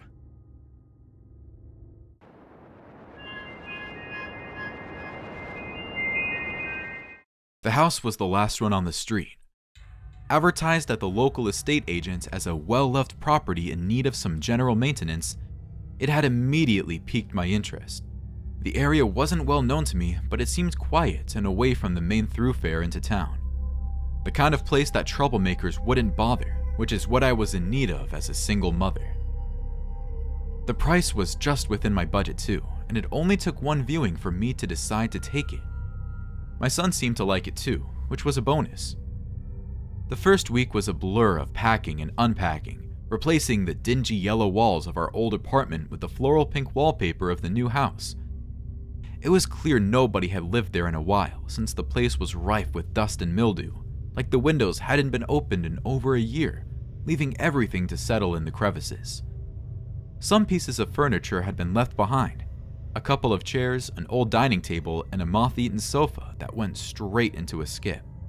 Upstairs, the wooden bed frames had been abandoned, along with a scuffed dresser and wardrobe, but everything else was missing. The hard floors didn't even have a rug, and several dark stains tarnished the wood in places. About a week after moving into the new house, it started to resemble something more of a home. I managed to grab some furniture from local yard sales and thrift shops, and the empty, desolate rooms were soon populated by pops of color. I even let my son Henry choose out some things for his room, since we were no longer confined by the limited space of our old apartment. Everything went smoothly that first week. Henry and I gradually settled into the routine of our new surroundings, and I started to feel like we finally had a place we felt safe. Somewhere we could stay for a while, growing into our environment. I never had a place to call home, and I thought that this might be it. But I was wrong. It was the second Tuesday we'd spent living in that house. Henry was at school, and I was doing some cleaning, trying to scrub out the old stains in the kitchen. After spending an hour inhaling bleach and scraping the sink clean, I headed upstairs for a short break. There was some laundry to put away, so I was between rooms when I heard it. Some sort of soft hissing sound coming from above me. At first, I paused, laundry basket hoisted in my arm, listening carefully. I thought maybe it was the wind or something else from outside, but it was coming from directly above me. I lifted my gaze to the small hatch in the ceiling. The attic had been detailed in the plans of the house, but I had yet to go up there. I had figured it wasn't much of a priority when I had the rest of the house to sort out first, so I hadn't bothered to investigate. Was that where the sounds were coming from? I set the laundry basket down and stretched up onto my tiptoes, trying to get a better idea of what I was hearing, but it was too faint to get a proper grasp on it. If there was something up there that I needed to know about, there was no point in delaying any longer. I didn't have any means of getting up there without a ladder, which I didn't currently possess, so I hurried around to my neighbors to see if I could borrow one. Armed with a rusty stepladder, I set it up below the hatch and began to climb, listening to that strange undulating hiss noise coming from above. I undid the latch and pushed open the attic door, immediately choking on the dust that was billowing down. Once the air had cleared, I poked my head through the gap, brushing aside a stray cobweb. The attic wasn't thrown into pitch darkness as I expected. A faint grainy light swept across the floorboards, illuminating the dust in the air. The gray light was coming from somewhere further in. Swallowing back my apprehension, I hoisted myself up through the hatch and scrambled onto the floor of the attic, finally picking myself up. I dug my phone out of my pocket and switched on the torch function, shining it across my feet. A couple of insects skittered and dispersed into the corners of the room, but I ignored them. Bugs were one thing I wasn't scared of, thanks to growing up with several older brothers. The attic was empty for the most part, except for a couple of old cardboard boxes and black trash bags. What drew my attention, however, was the thing at the very back of the attic. The thing that was emitting that faint, grainy light. It was a television. An old boxy thing with a VCR slot, like something from the 90s. The screen was filled with fuzzy gray static, the reason for the light and the hissing sound I'd heard from before. I walked closer to the TV, frowning. Why was it turned on? I shone my torch over the walls, but I couldn't see a power plug anywhere. How was it managing to power itself without electricity? The cord slithered loosely across the floorboard, disconnected. Surely it was impossible for a TV like this to work without power. It was all rather bizarre, but there was no point dwelling on something you couldn't explain. I reached for the power button and turned it off. The attic went deathly silent, my torchlight dimming. A faint chill ran over my arms and neck, bringing goosebumps to the surface. Not sure where the feeling was coming from, I did my best to swallow back the dread and crossed the attic back to the ladder. I had barely put my foot on the first rung when the TV switched itself back on. The sudden burst of static made me jump, eliciting a soft yell from my lips. I threw back my head and glanced toward the television on the other side of the room. Static once more filled the screen, wavy gray lines that made my eyes water the more I looked at it. I stood, frozen, one foot on the ladder, staring into the gloom at the TV. Did it have some kind of faulty wiring? Did that even make sense? What other explanation was there? Because I certainly didn't believe in anything of a paranormal nature. Technology could be unpredictable, even the old stuff. There had to be some kind of reason that I was simply unaware of. Ignoring the slight tremor in my hand, I crossed the attic once more and jabbed the off button, plunging the screen into darkness. I waited a second, then another. When I was certain it wouldn't turn back on, I turned around. This time, what I heard from the television wasn't static. It was a voice, a whisper soft as the wind. The chill from before returned, making me feel cold all over. A flutter of unease made my heart beat faster. Could I have imagined it? I wanted to say yes, but when I turned back around, the TV was on again. The whisper had gone, replaced once more by static, but I couldn't get the sound of it out of my head. I stared at the undulating gray sea on the screen until my eyes began to glimpse something through the chaos. A shape hidden beneath the reams of pixels. It took me a second to realize what I was seeing a face, or something that resembled a face. I glimpsed two dark eyes, a long jaw, sunken cheeks. I blinked, wishing for the image to disappear, but it was still there, the face amongst the static. With a sharp gasp, I hit the switch again, banishing the face from my view. Instead, my own distorted, terrified gaze stared back through the reflection on the screen. Whatever was wrong with this TV, it wasn't normal. I didn't have an explanation, but it wasn't simply some electrical fault. It was something else. In the end, I decided to just throw the TV out. I didn't know if it could be fixed or if it was worth anything, but I knew that I had to get rid of it. Whatever had happened in this house, with this television, I had no part of it, nor would I involve myself or my son any further.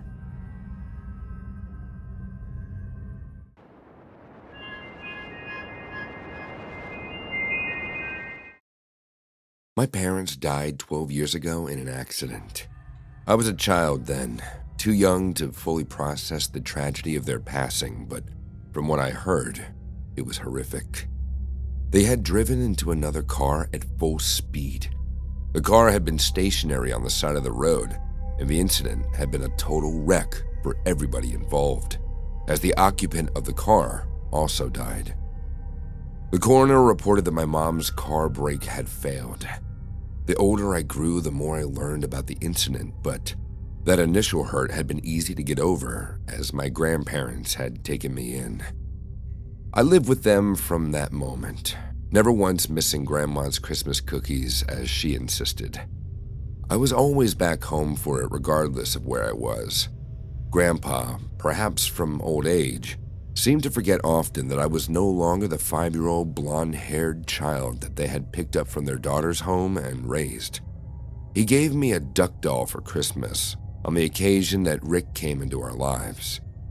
There was no telling how long he stalked us, but when Grandma made a friend at the golf course with a man at least a decade younger than himself, we had no reason to suspect that he would be the terror that almost put a stop to Grandma's 12 year old tradition.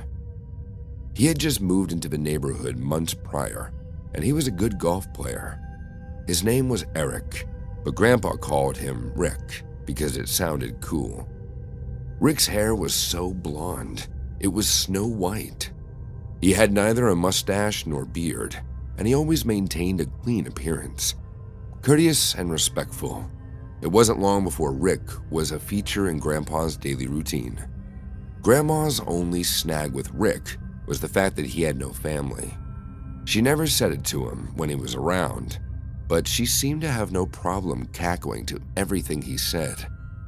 Grandpa's friendship with Rick blossomed so well that Grandma broke a rule on her Christmas tradition by inviting Rick to have dinner with us, as he had no family to spend it with. Rick was nice to bring a cake to the occasion, and he insisted that we eat from it as it was freshly made by his own hands. Christmas spirit, he observed. The cake was made with good cheer. Grandpa dropped the cake at the table and offered to bring a knife to cut it up. The cake was opened up, and Grandma yelped at the table. Rick asked what was wrong and why everyone was suddenly staring at the cake instead of diving into it. It's Luke here, Grandpa confessed and nodded at me. The little one cannot have chocolate. Messes with his body. Rick's face turned sour. His lip hung loose, and I noticed that he was grinding his teeth strangely. It was the first time I had an awry feeling about him, but for someone who was Grandpa's friend for months, it clouded my suspicion. But hey, uh, we can have the cake and he will eat from the food that I made. Grandma offered in a bid to lighten the mood. Grandpa chuckled, but Rick did not. Grandpa asked Rick if he wanted some cake, and Rick said that he did not. It turned into a long conversation on cakes that I did not pay any attention to. Grandma said since everybody could not have the cake at the time, it was better to keep it in the freezer and eat eaten some other time, as it would be better than eating it when only Grandpa and herself could have it. It was in bad manners, and moreover, food was already set. I'm sorry, I have to leave now. Rick gazed distractedly upon his wristwatch and was at once on his feet. Grandpa asked if there was a problem, and he said that there was none as he made his way to the door in a daze.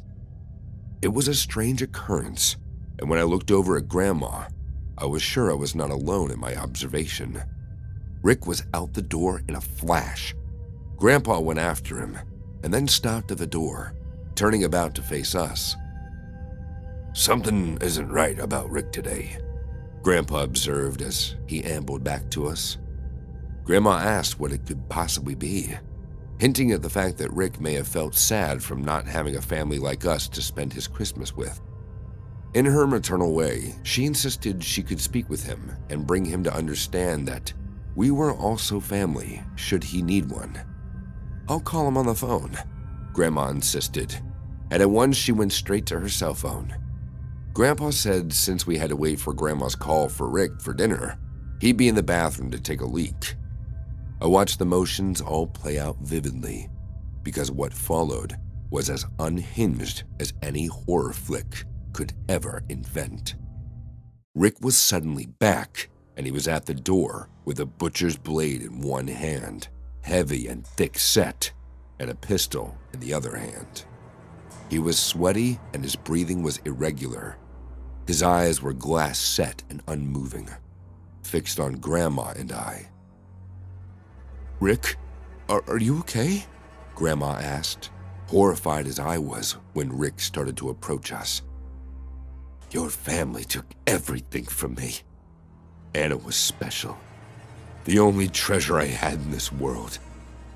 He recounted as tears streaked down the sides of his face. Your family butchered her in that accident.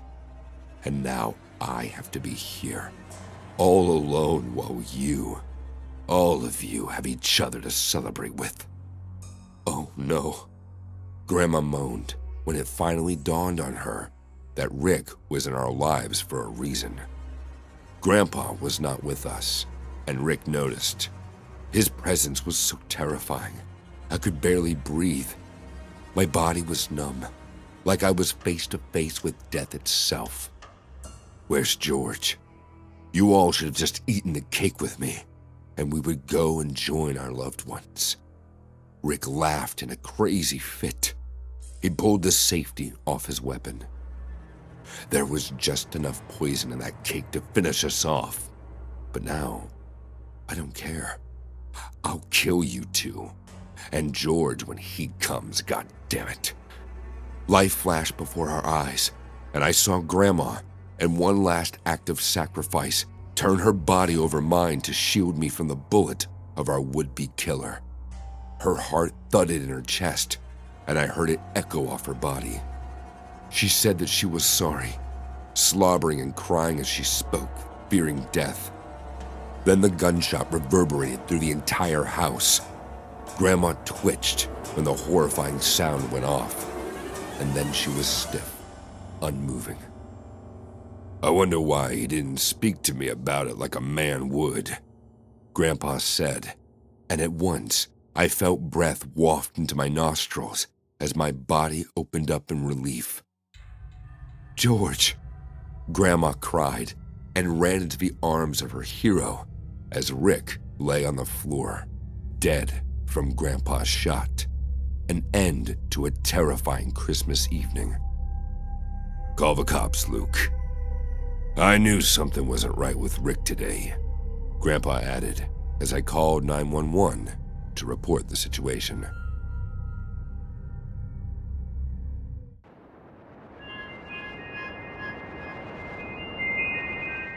Every year for about a decade, my two buddies, Lance and Stu, and I would go on a ski trip. It's been a tradition since we were in high school. We always planned it around St. Patrick's Day. The last year we went, Stu was going through a rough patch. He had just lost his job and his relationship was on the rocks. He had been dating Laura for two years, and she started acting distant and staying out later. Stu feared the worst that she was cheating on him. Because of everything that he was going through, Lance and I decided that this year the goal would be to help Stu have a good time and unwind. Stu didn't have to do any of the planning. Lance and I did it all so he could focus on enjoying himself. We planned to head up to the mountains Friday night, get settled in the Airbnb, ski Saturday and Sunday, then drive back on Monday. Stu had never done any kind of hallucinogenic before, so Lance and I thought it would be a fun way to end the trip Sunday after we were done on the slopes. We brought the idea up to Stu, and he was stoked. He had wanted to try shrooms for years, but never had the opportunity. After weeks of Stu stressing out about being unemployed and his girlfriend, our ski weekend finally rolled around. We were all excited, but Stu especially. The guy needed to get his mind off stuff, and Lance and I were happy to help. We got to the Airbnb and it was awesome. There were two bedrooms, one bathroom, and a jacuzzi outside. The next day, fresh snow covered the mountains and we shredded. We carved the fresh powder. Stu, who snowboards, was finally successful at doing a backflip going off a jump. You could tell he felt like a million bucks afterward. The day was going well until we took a break for lunch. We sat outside. Lance packed his lunch. He's a chef, so naturally he's a major foodie. He went on and on about how he could save us money and pack a better lunch than we could find at the resort. Lance never lets us down when it comes to food.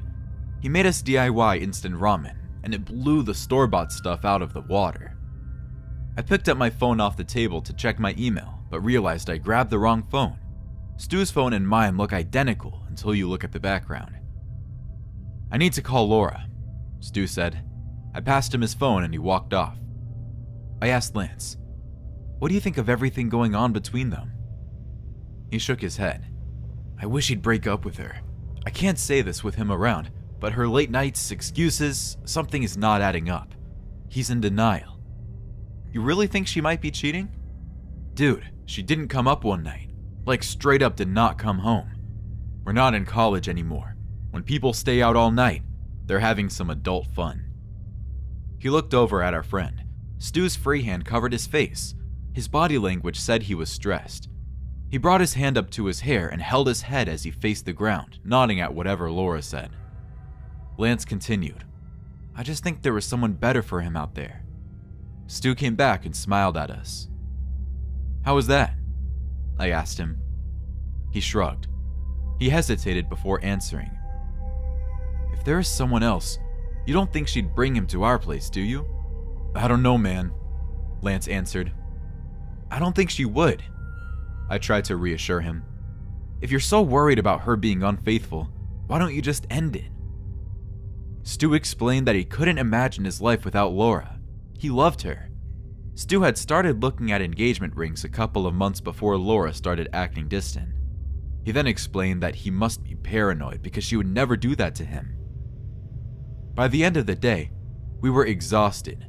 We returned to the Airbnb, ordered pizza, drank some beer, and then went to bed to prepare for an early start the next day. The snow wasn't as good as the day before, but we still had a good day on Sunday. After we were done skiing, we hit the grocery store so Lance could get ingredients to make us a feast for our shrooms trip. You can cook when you trip? I asked him. Yeah, it's my favorite thing to do when high on anything. Good for us, Stu said. When we got back to the Airbnb, I prepared our shrooms. We took them in a tea. I gave mugs to Lance and Stu and said, Bottoms up. It took about 20 minutes for the shrooms to start kicking in. Soon enough, Lance washed his hands as he moved them back and forth. Stu was sitting on the ground staring at it. It's moving, he whispered, and laughed. I'm going to start cooking so I can eat when I'm really out there, Lance said, standing up. While Lance worked away in the kitchen, Stu and I put on Planet Earth on mute and played a playlist I prepared for this event. We let the music carry us through the African safari we saw on the TV. How long till the food is ready? I yelled to Lance. He came out of the kitchen in a polka dot apron he found in one of the drawers. Maybe 30 ish minutes, he answered. Stu laughed. Nice apron. Lance curtsied. Stu's phone buzzed. A notification appeared on his phone. It was Laura checking in. Hey baby, just checking in on your shroom trip, she said with heart emojis.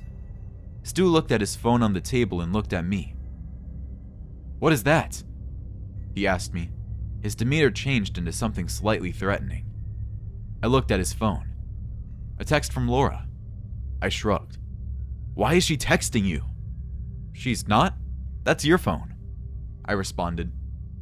Don't talk to me like I'm stupid. Dude, I said, I'm not. That's your phone. You seemed really confident that she wouldn't bring anyone over to our place. Lance was busy in the kitchen, so I didn't have anyone to look at in disbelief at what was happening. Stu continued.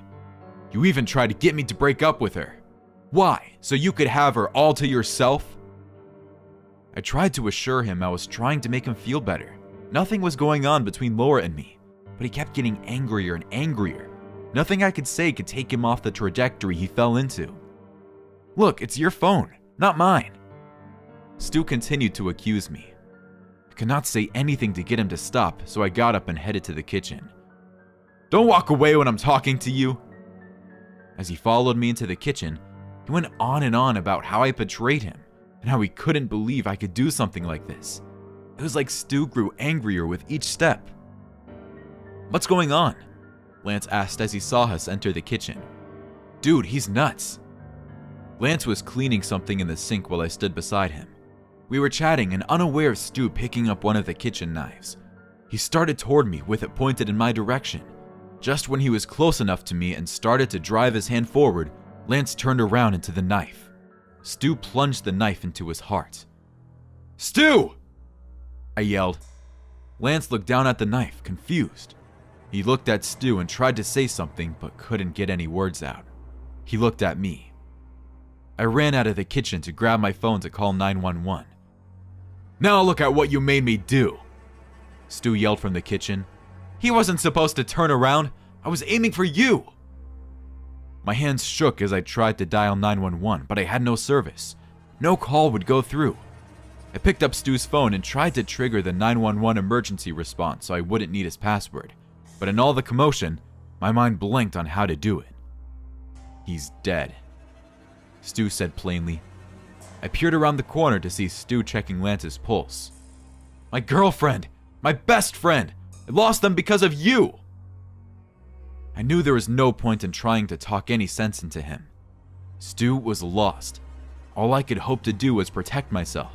There was no one around for miles. It was just Stu in a homicidal rage and I stuck in a cabin together. I took Stu's phone and the car keys and bolted outside. I crawled into the car and watched as Stu followed me out. I locked the door so he couldn't get in. Snow was falling hard all around us. Unlock the door! Face me like a man! You're a coward! Stu yelled at me. He banged on the windows, trying with all his might to break them. I kept trying to trigger the emergency response on his phone, but I cannot for my life remember how. Stu banged and banged on the car for about an hour before he gave up and went back inside. I sat in the car and cried. If I had known his mental state was that fragile, I never would have suggested doing shrooms. There was no way for me to know it would trigger what it did. I waited in the car until morning. Every so often, Stu would creep outside and watch me in the car. Sometimes, he would try again to break the windows. I sat in the car crying and praying for the effect to wear off. When the sun rose, I unlocked the car and went back inside. Stu was passed out on the couch. Lance remained where he was. I kicked Stu to wake him up. I didn't want to get too close. His eyes fluttered open, and they were clear once again. What happened? He asked me. You confused our phones and thought Laura was texting me, and it triggered something. I motioned to the kitchen. Stu's eyes widened as he saw Lance lying there with his eyes open, unblinking. I did that? His voice cracked. Tears gathered in his eyes. He knew his life was over. I threw his phone at him. Call 911. I'm going to pack my things. I want this trip to be over. The cops and ambulance came soon after Stu called. Stu ended up going to prison for manslaughter. His parents paid some fancy lawyer who convinced the jury he wasn't in his right mind. His lawyer was able to get him the minimum sentence of 15 years. After that, he would be on probation for five. We found out afterward that Laura was cheating on Stu with her boss. Stu begged for my forgiveness, but just seeing him triggered my fear response. I had to tell him to leave me alone. It's been a few years and I haven't heard from him since, but his wild eyes still haunt my nightmares.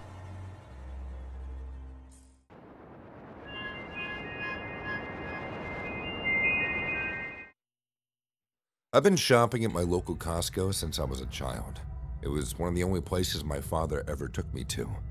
The beautiful man, my father, was the only family I ever knew. He liked to shop often and said it was the way that he had gotten my mother when he had nothing, because, well, at least he could afford her stuff from there whenever he could. When I was 21, my father had died in his sleep from a broken heart that yearned for my mother, and I was left all alone. Grief stripped me off everything except Costco. I could work 40 hours a week for cheap, but one gets a sense that money was not the only reason that people would shop at Costco. Every piece of clothing that passed my neck was from the local Costco. It was the timeline of the decade. The Costco was the only thing of permanence that remained in my life. But it became familiar. I knew my way around every row and I was convinced that I could march through the aisles with my eyes closed, and it was what was happening for the most part, as I was too dizzy to observe my surroundings. In the usual way that I would shop at Costco, I had gone on that strange evening when everything would change for me in a matter of suddenness that I struggled to process with. I remember I had a gray top on, and it was what I had on that drew the stranger to me. The inscription on the shirt had been simple but rebellious. It was an 80s hip hop band called NWA. The tag read, F the Police. I didn't think too much about it since I had plenty of other shirts like it in my closet, and I didn't really know that much about rap. I was picking up some blouses from the rack when someone came up behind me and seized me by the wrist. His hands were firm and calloused, witnessing the fact that he was someone used to laboring at some hard activity. As hard as his palm was, it was cold. It was that which caused me to flinch, but his hands did not let go, wrapped around my wrist like a wrench. Annette, he called me in a strange East European accent as my eyes drifted to his face. He was a young man, cleanly shaven and a neatly pressed shirt tucked in. He had a handsome face, the type that could fulfill a teenager's wild fantasy. But suddenly I pulled my hands from his wrist and he yielded. You have the wrong person, sir, I said to him in a calm tone as I could say. Almost as soon as I said those words, I saw his face transform through emotions from light to heavy brooding that made his brows fall askew. I couldn't have known what he thought in contemplation, and his foreign features provided no clue. I chalked it up to mere confusion, but even those who were confused at approaching a stranger, I thought that maybe he was someone that he knew and showed remorse quickly and apologized for the error. It could have been dismissed as some light humor, as everyone makes mistakes, but This man that was in front of me had an unwavering presence. Annette, he called me again. And now I knew something strange was happening. I took a step back. He was at least six five, with muscular arms that could seize me without much resistance. I had an already feeling sweep over me, and the charm or whatever aura that he had over me that made me feel relaxed wore off. I was now wary, but I did not show my panic. Excuse me? I looked around the aisle when I was to discover that I was alone. Anybody there? He furrowed his brows and placed a solitary finger on his lips to silence me. He hissed through his fingers, and I obeyed unwittingly. My rapidly beating heart paralyzed my body. Sheer terror that I could not process ravaged my senses. I couldn't move, even if I wanted to run.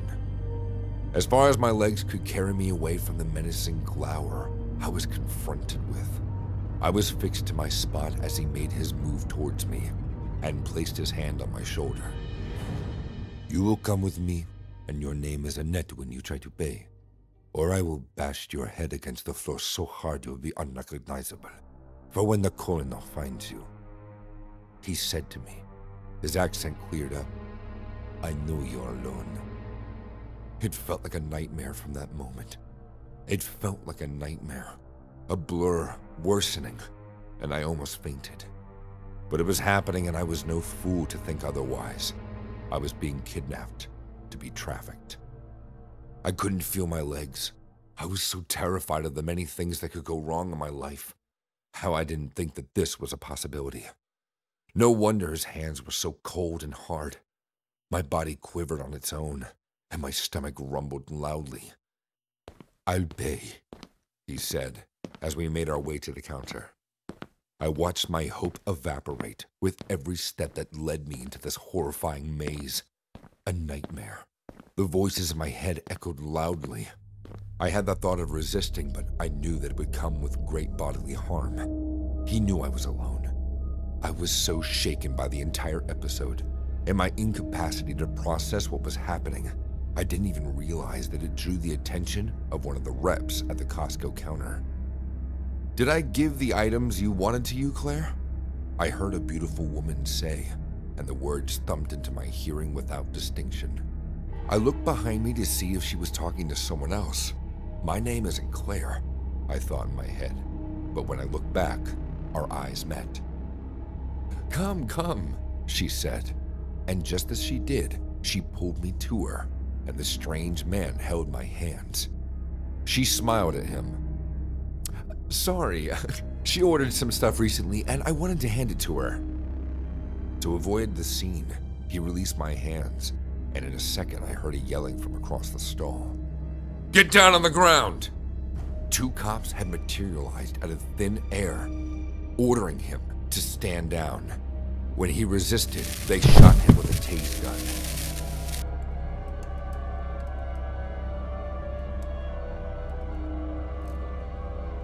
My heart was still whipping wild in my chest. They grabbed the man from the ground when he tried to resist, and they cuffed him before taking him away. Damn these traffickers. I knew he was dangerous the moment I saw him coming in, and I saw him watching you. The rep said to me, Hey, be safe out there.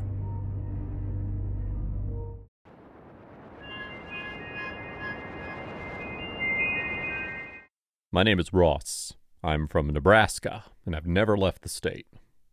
My big brother Tommy moved to New York City a few years back. He got accepted to university there, and I felt really excited for him. He was going to be the first member of our family to really make something of himself. Before he left, he promised to keep me posted every week. But the longer he stayed there, the less I heard from him. Last summer, I finally got some time off of work and asked him if I could come up and visit. He seemed reluctant at first, but I kept pestering him until he said yes. I booked the cheapest flight and planned to stay there for two weeks. For the first few days, I barely saw him. He said he had a lot of summer classes to keep him busy, and I ended up going to a lot of touristy places myself. It was a bit overwhelming for a small town guy, but I was able to enjoy myself. The few times I did see Tommy, he seemed like a completely different person. I had heard that city life could change someone, but I never expected that my own brother would become so irritable and distant. I assumed he was stressed out over classes, especially because he refused to talk about them. I asked him if he could show me around his campus, but he flat out refused. By my fourth day there, I had barely seen him, and I demanded that we at least spend the evening together. I hadn't been to Times Square yet, so I thought that'd be a good place for us to check out. He seemed reluctant, but eventually he gave in. I told him I would treat him to dinner at whatever restaurant he chose. We arrived at Times Square just around sunset. It seemed like such a magical, busy place. Tommy and I walked around for a bit, but he seemed to be rushing everywhere. I told him to slow down, but he wouldn't listen. I tried to stop at a couple of different stores, including the giant M&M factory, but he just kept hurrying around and looking nervous. We passed by a group of people in ratty-looking costumes. They were dressed up like famous cartoon characters and stuff, but their outfits were slightly off. For copyright reasons, I guess. I'd heard about these kinds of people before. They would pressure you into taking a photo with them and then charge you an exorbitant amount of money for it. It was a total scam. Out of all the things we could do in Times Square, I did not want to go near those guys. I thought that Tommy would agree because he was a local and knew better than to fall for a scam like that. But to my surprise, he saw the costume people up ahead and started dragging me towards them. I told Tommy that I wasn't interested, but he said, Come on, let's go check it out. He led me toward a man dressed like Elmo from the Muppets, except the costume was the wrong color and the googly eyes looked like they were about to fall off. Tommy leaned close to fake Elmo and whispered something that I couldn't hear. Then he backed away, and Elmo started approaching me. I assumed that my brother knew the actor inside the costume. Maybe we can get a free photo or something. But when Elmo reached me, he didn't seem friendly at all. He grabbed me by the wrist and started pulling me away. I tried to pull myself out of this grip, but I couldn't. His furry hands clamped down on my arm. I called for Tommy to help me, but he just stood there, watching. Elmo violently dragged me through the crowd. We passed a bunch of people along the way, but they just stared at us. No one bothered to help. Even though we were surrounded by hundreds of people, it was like we were totally alone. Tommy disappeared in the crowd. I wasn't sure, but it definitely seemed like he'd set me up. But why? Why would he want me to get hurt? And how would he know that this costume creep was such a psycho? Elmo pulled me further away from the crowd, then pushed me up against a wall. Three other mascots joined him.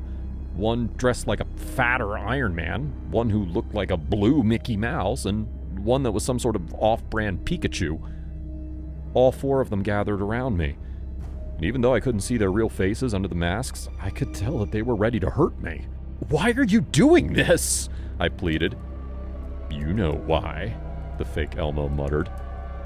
The man in the superhero costume reached into his spandex pants and pulled out a knife. Give us your money, he said. All of it. He spoke loudly enough for other people to hear him, but no one did anything. No one even looked in our direction. I slowly pulled out my wallet and opened it for him to see. I didn't bring a lot of cash with me, just two $20 bills. This is all I have, I told them. Elmo pulled back his furry fist and punched me right in the jaw. You owe us way more than that, he said. Where's the rest of it? While Elmo held me against the wall, the superhero pushed his knife against the side of my throat. Another character grabbed my cash and threw my empty wallet onto the ground. I could hear the costume men whisper to each other, but I didn't know what they were saying. It Sounded like they came to some sort of agreement, though. Elmo nodded his head, and then told me, If you don't fork up the rest of the cash, we're to take a finger. The superhero pulled back the knife and grabbed my arm. They were serious. He was going to cut off my pinky. I screamed for help, but no one cared. I could see Tommy watching this all happen in the distance, so I begged for him to save me. He just stared and then he mouthed out two words I'm sorry. What was going on? Why would my own brother set me up like this? I begged for the men in costumes to explain what was going on. How much money did they need? Elmo said, Your brother took 20,000 bucks from us. He said you would pay us back. I didn't understand. Why would Tommy take money from these guys? He had an on campus job, he had a scholarship. Uh, unless it was all a lie. Unless he'd failed out of his classes and gotten mixed up with these people. That had to be it. And the worst part was, Tommy didn't look guilty at all. His expression was completely blank. As the superhero pressed the knife against the base of my finger, I blurted out, I, I, I need to go to an ATM. I'll give you everything.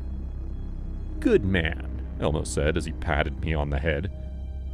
The closest ATM was near my brother, so the costumed men guided me in that direction. When we reached the ATM, one of the men gave me back my wallet. They were still surrounding me, so I couldn't escape.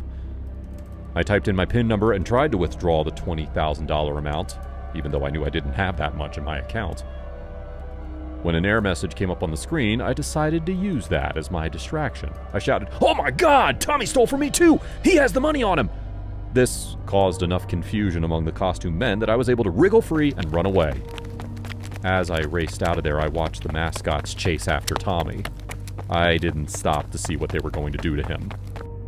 After that, I went straight to the airport and rebooked my flight back home. Tommy tried to call me twice, but I didn't answer. I still don't know how Tommy had gotten mixed up with these criminals. I don't think I'll ever know the full story. All I know is that a few weeks later, Tommy flew back to Nebraska and moved in with our parents. He refused to say anything about his time in New York. And he was missing three fingers.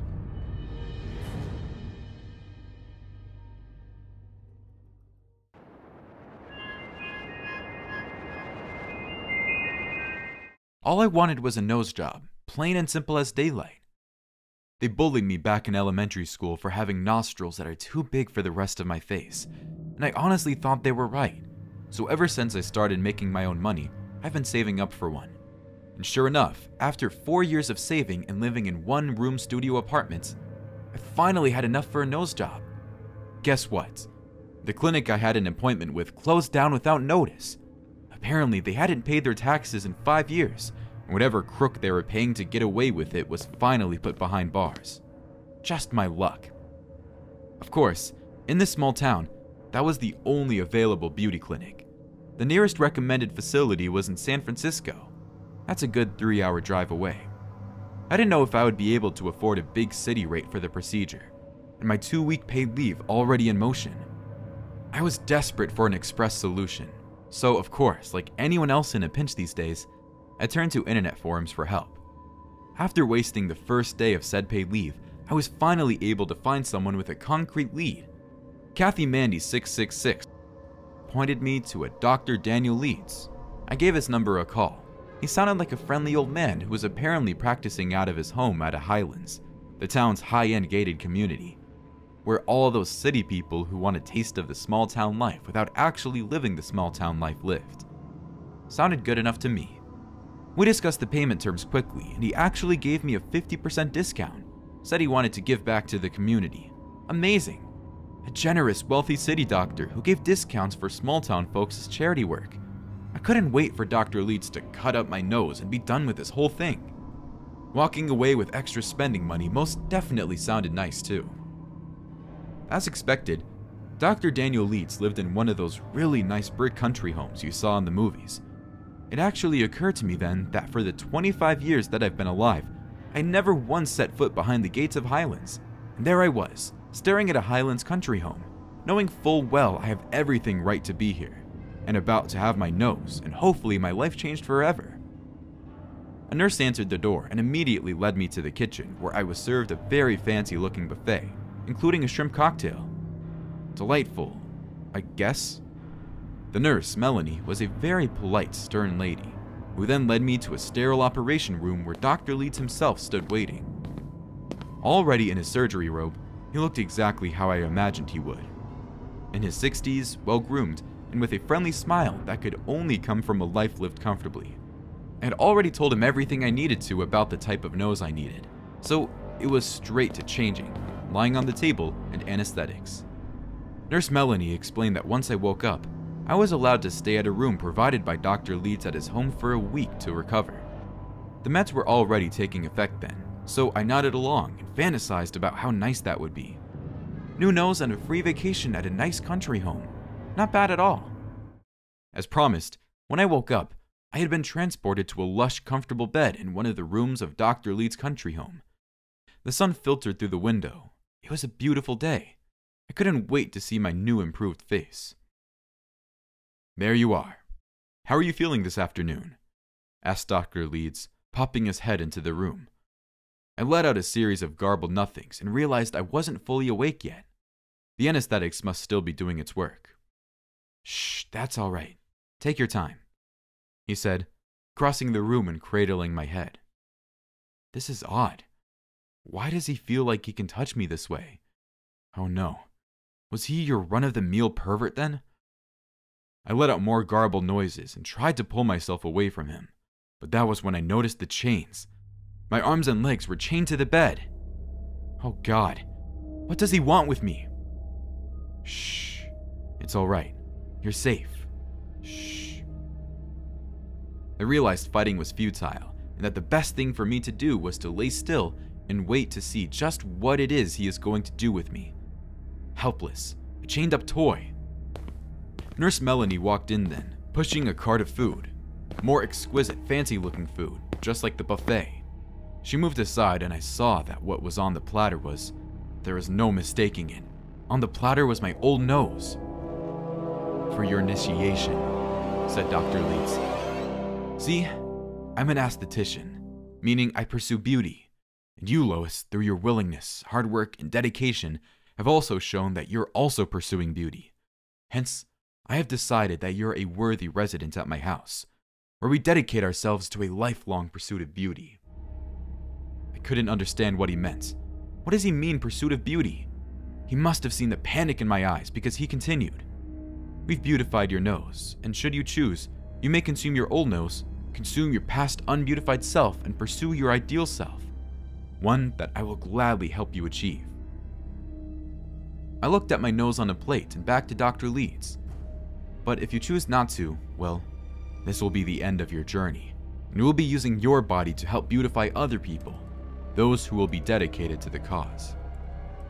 That drove me over the edge. I just wanted a new nose. Now I have to deal with this mess. Well, I guess at the end of the day, a nose is nothing but flesh, tender meat. Once cooked, it should be good enough to eat.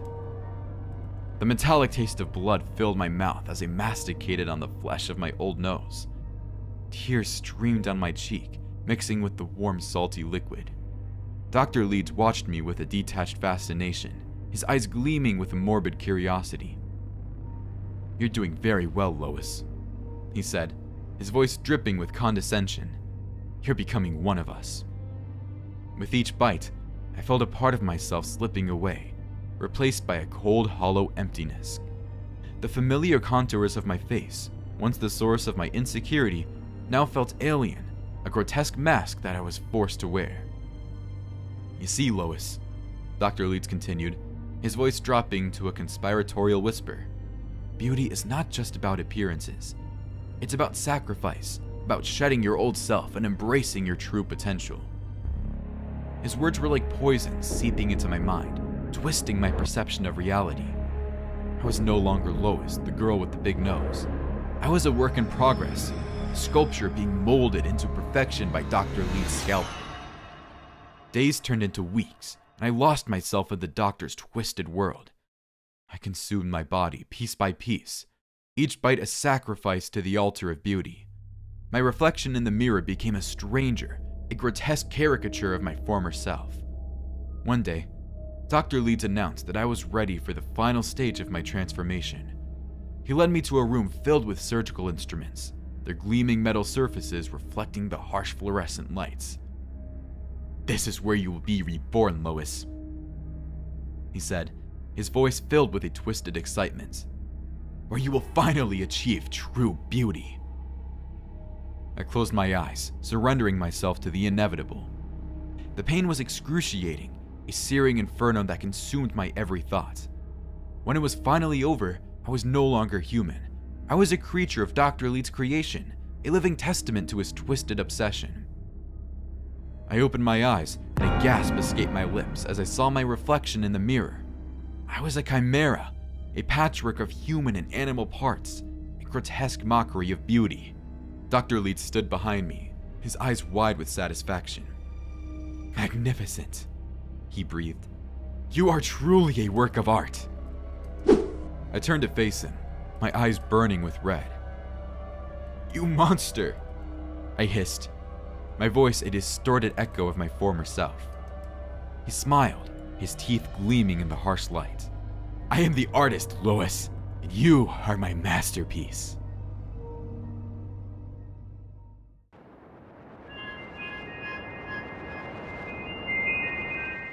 I live in a small town in New Mexico. We don't have a lot of things to do here besides go off roading through the desert or hanging out at our one skate park. Last year, the town next to us got a brand new Costco. It was enormous. At any time of day, there were more people walking around that store than the entire population of my town, and it had everything. The prices weren't too bad either. The problem with a big store like that is how it pushes out its competition, especially in rural areas like mine. Within six months of its opening, most of the shops in a 100 mile radius had to close down. Nothing could compete. My little town was all but destroyed. We still had one market, but that was really struggling. Everything else shuttered. So when I got my job at Costco, I kept it a secret from all my neighbors. I worked there five days a week, usually the night shift. I figured no one would find out because it was in the next town, and if anyone saw me working there, that meant they were customers themselves, so they wouldn't spill my secret. After a few months, I saved up a lot of money. Plus, none of my neighbors had figured out where I worked. I thought things could go on like this forever, or at least until I had enough saved up to move away. That's when something happened. My pickup truck broke down on the long highway connecting our town with the next town over. I was driving to work at the time, ready to spend all shift unloading a new shipment of beanbag chairs. I tried to call the tow truck, but my phone was dead. I waited on the side of the road until another car stopped next to mine. It was Nadine, one of my neighbors. Nadine hated Costco more than anyone else I knew. She lost her antique store after Costco moved in, and even though Costco definitely didn't sell antiques, she blamed the big store for her loss of customers. I desperately needed Nadine to drive me, but I couldn't tell her that. She'd absolutely flip out. When she offered me a ride, I told her no, but I asked if I could borrow her phone to call a tow truck. She didn't have one. Of course she didn't. So she asked me again if I needed a ride. It was already getting dark, and I seriously didn't want to be alone on the road at night. So I braced myself and told her that I needed a ride to Costco. Her eyes lit up, but not in an angry way. Wow, that's exactly where I'm going. Hop in. I couldn't believe it. When had she changed her mind? I thought she'd be furious with me. Breathing a sigh of relief, I crawled into her truck and she started driving. We sat in silence for a while. The long road stretched out in front of us until Nadine asked, So, why are you going to Costco? I work there now, I told her. And you? She laughed for a second. It was a cold laugh. Then she said, Check out the back. She was talking about the bed of her truck I looked behind me and gasped. There were explosives back there. Are you going to blow up the building? I asked. She laughed again. Tell me this is a joke. She didn't say anything. Her truck began to speed up. She was going over 80. If I tried to jump out the door, I'd be splattered against the road. Please, you can't do this. You know I have to, she said. All I gotta do is drive into that building and boom, everything will be better. I begged her to change her mind. She wasn't a killer, she was a good person at heart. She didn't listen. Her mind was made up. I tried to grab at her steering wheel, but she shoved me hard. I fell back against the window. If you make me crash, she said, then we'll both explode. You of all people know how dangerous explosives are. She was right. I was raised by a firefighter dad who taught me all about explosives and gun safety and all sorts of survival stuff. That's when I realized that I didn't need to stop Nadine at all. I just needed to defuse those bombs. As she continued speeding down the highway, I slid open the window behind us and crawled into the trunk bed. Nadine didn't bother trying to stop me. She didn't think I'd be able to thwart her plan. There were three separate boxes of explosives in the bed, each one shaking horribly from the bumpy road, even though they were duct taped to the truck. It was terrifying to be so close to something that could kill me in less than a second. I reached the first of the three explosives and saw a bunch of wires and cords. There wasn't a timer or anything, but it looked like it was set to explode on impact. All I had to do was clip one of the wires. I knew which one too. Unfortunately, I didn't have any scissors. From inside the truck, Nadine started laughing. You don't have any time. I'll be there in two minutes. She was right. We were starting to pass more and more buildings as we got closer to town. I reached my face toward the explosive and bit into the wire. It was the only thing I could think of. The spark shocked my tongue, but I was able to defuse it safely. Thank God. Then I crawled over to the second box. I could feel the truck speeding up. Nadine saw what I'd done and knew that she had to reach Costco before I could defuse the other two bombs. The second device looked exactly the same as the first. Once again, I bit into the wire and its digital screen faded to black. It too was diffused. We passed by more cars and streetlights. The Costco building was just ahead. I had less than a minute before she'd drive into the building. I frantically grabbed the third device. This one was placed upside down in its box, meaning I'd have to pick up the whole device and flip it around if I wanted to reach the right wire. And I didn't have time. The trunk jumped wildly as Nadine drove over the raised sidewalk and into the Costco parking lot. I ripped the third device out of the box and pulled it to my chest. At the very last second, I bit into the wire and grabbed onto the side of the truck, bracing for impact. My whole body flew into the air as Nadine's truck slammed straight into the side of the building. After that, I blacked out. When I woke up, paramedics were gathered all around me, checking my pulse and shining lights into my eyes. I asked them what happened. A police officer stepped forward and thanked me for defusing all three bombs. If I hadn't been there, a lot more people would have died. This whole building would be rubble. How did I survive the crash? I mumbled. He nodded toward the building where Nadine's truck was crushed against the wall, right next to a giant pile of beanbag chairs that were waiting to be brought inside. You landed in the perfect spot, the policeman said. I can't believe how lucky you are. I spent the next few days recovering in the hospital. A bunch of people came to visit, including my boss. She offered me a pretty big bonus because of all the people I'd saved. And as for Nadine, she died on impact, the only casualty that night.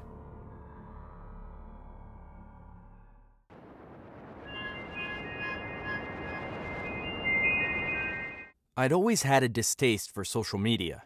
It had always seemed pointless to me, arbitrary. What was the point of keeping up with a life that wasn't your own? Who cared really about other people in a way that warranted the need to track their every move online? I would have stayed well away from any kind of social media if it was up to me, but it was the only way I could keep in touch with my friends after I left college. Which is why, after being begged by my buddies, I ended up downloading TikTok. It wasn't like the conventional social media sites. This one was all about short form videos. I had to admit there was some kind of entertainment value involved, and there was something for everyone on there. I didn't hate the app as much as other social media sites, so I decided to keep it. It wasn't like I went on it regularly, anyway, just every now and then, when I was bored or was curious about what my friends were up to, since we didn't always have time to talk or meet up between work. One evening, I was tired from my day job and looking for something to take my mind off of grueling customer service, so I decided to pull up the TikTok app and check out the latest videos on my feed. Most of it was boring, mindless content, and I was almost about to switch it off when something caught my attention. It was the video at the bottom of the screen. I couldn't see it all, but I could see enough to notice that there was something weird about it, something familiar. I paused and sat up bringing the screen closer to my face as I scrolled down to the video. As soon as the full image was revealed, I felt my blood run cold. No wonder it seemed familiar. I was looking at my own apartment, specifically the living room. Why was there a video of my apartment on TikTok? At first, I thought I was mistaken and it was something similar, but then I saw the photographs on the walls and knew it wasn't just similar, it was the exact same. My pulse thudding in my ears, I clicked on the video to watch the full thing. It was only 20 seconds long and showed nothing but the inside of my apartment's living room. I'd have thought it was just a picture, but the camera shook right at the end, and when I turned the volume up, I could hear someone breathing very faintly in the background. What the hell?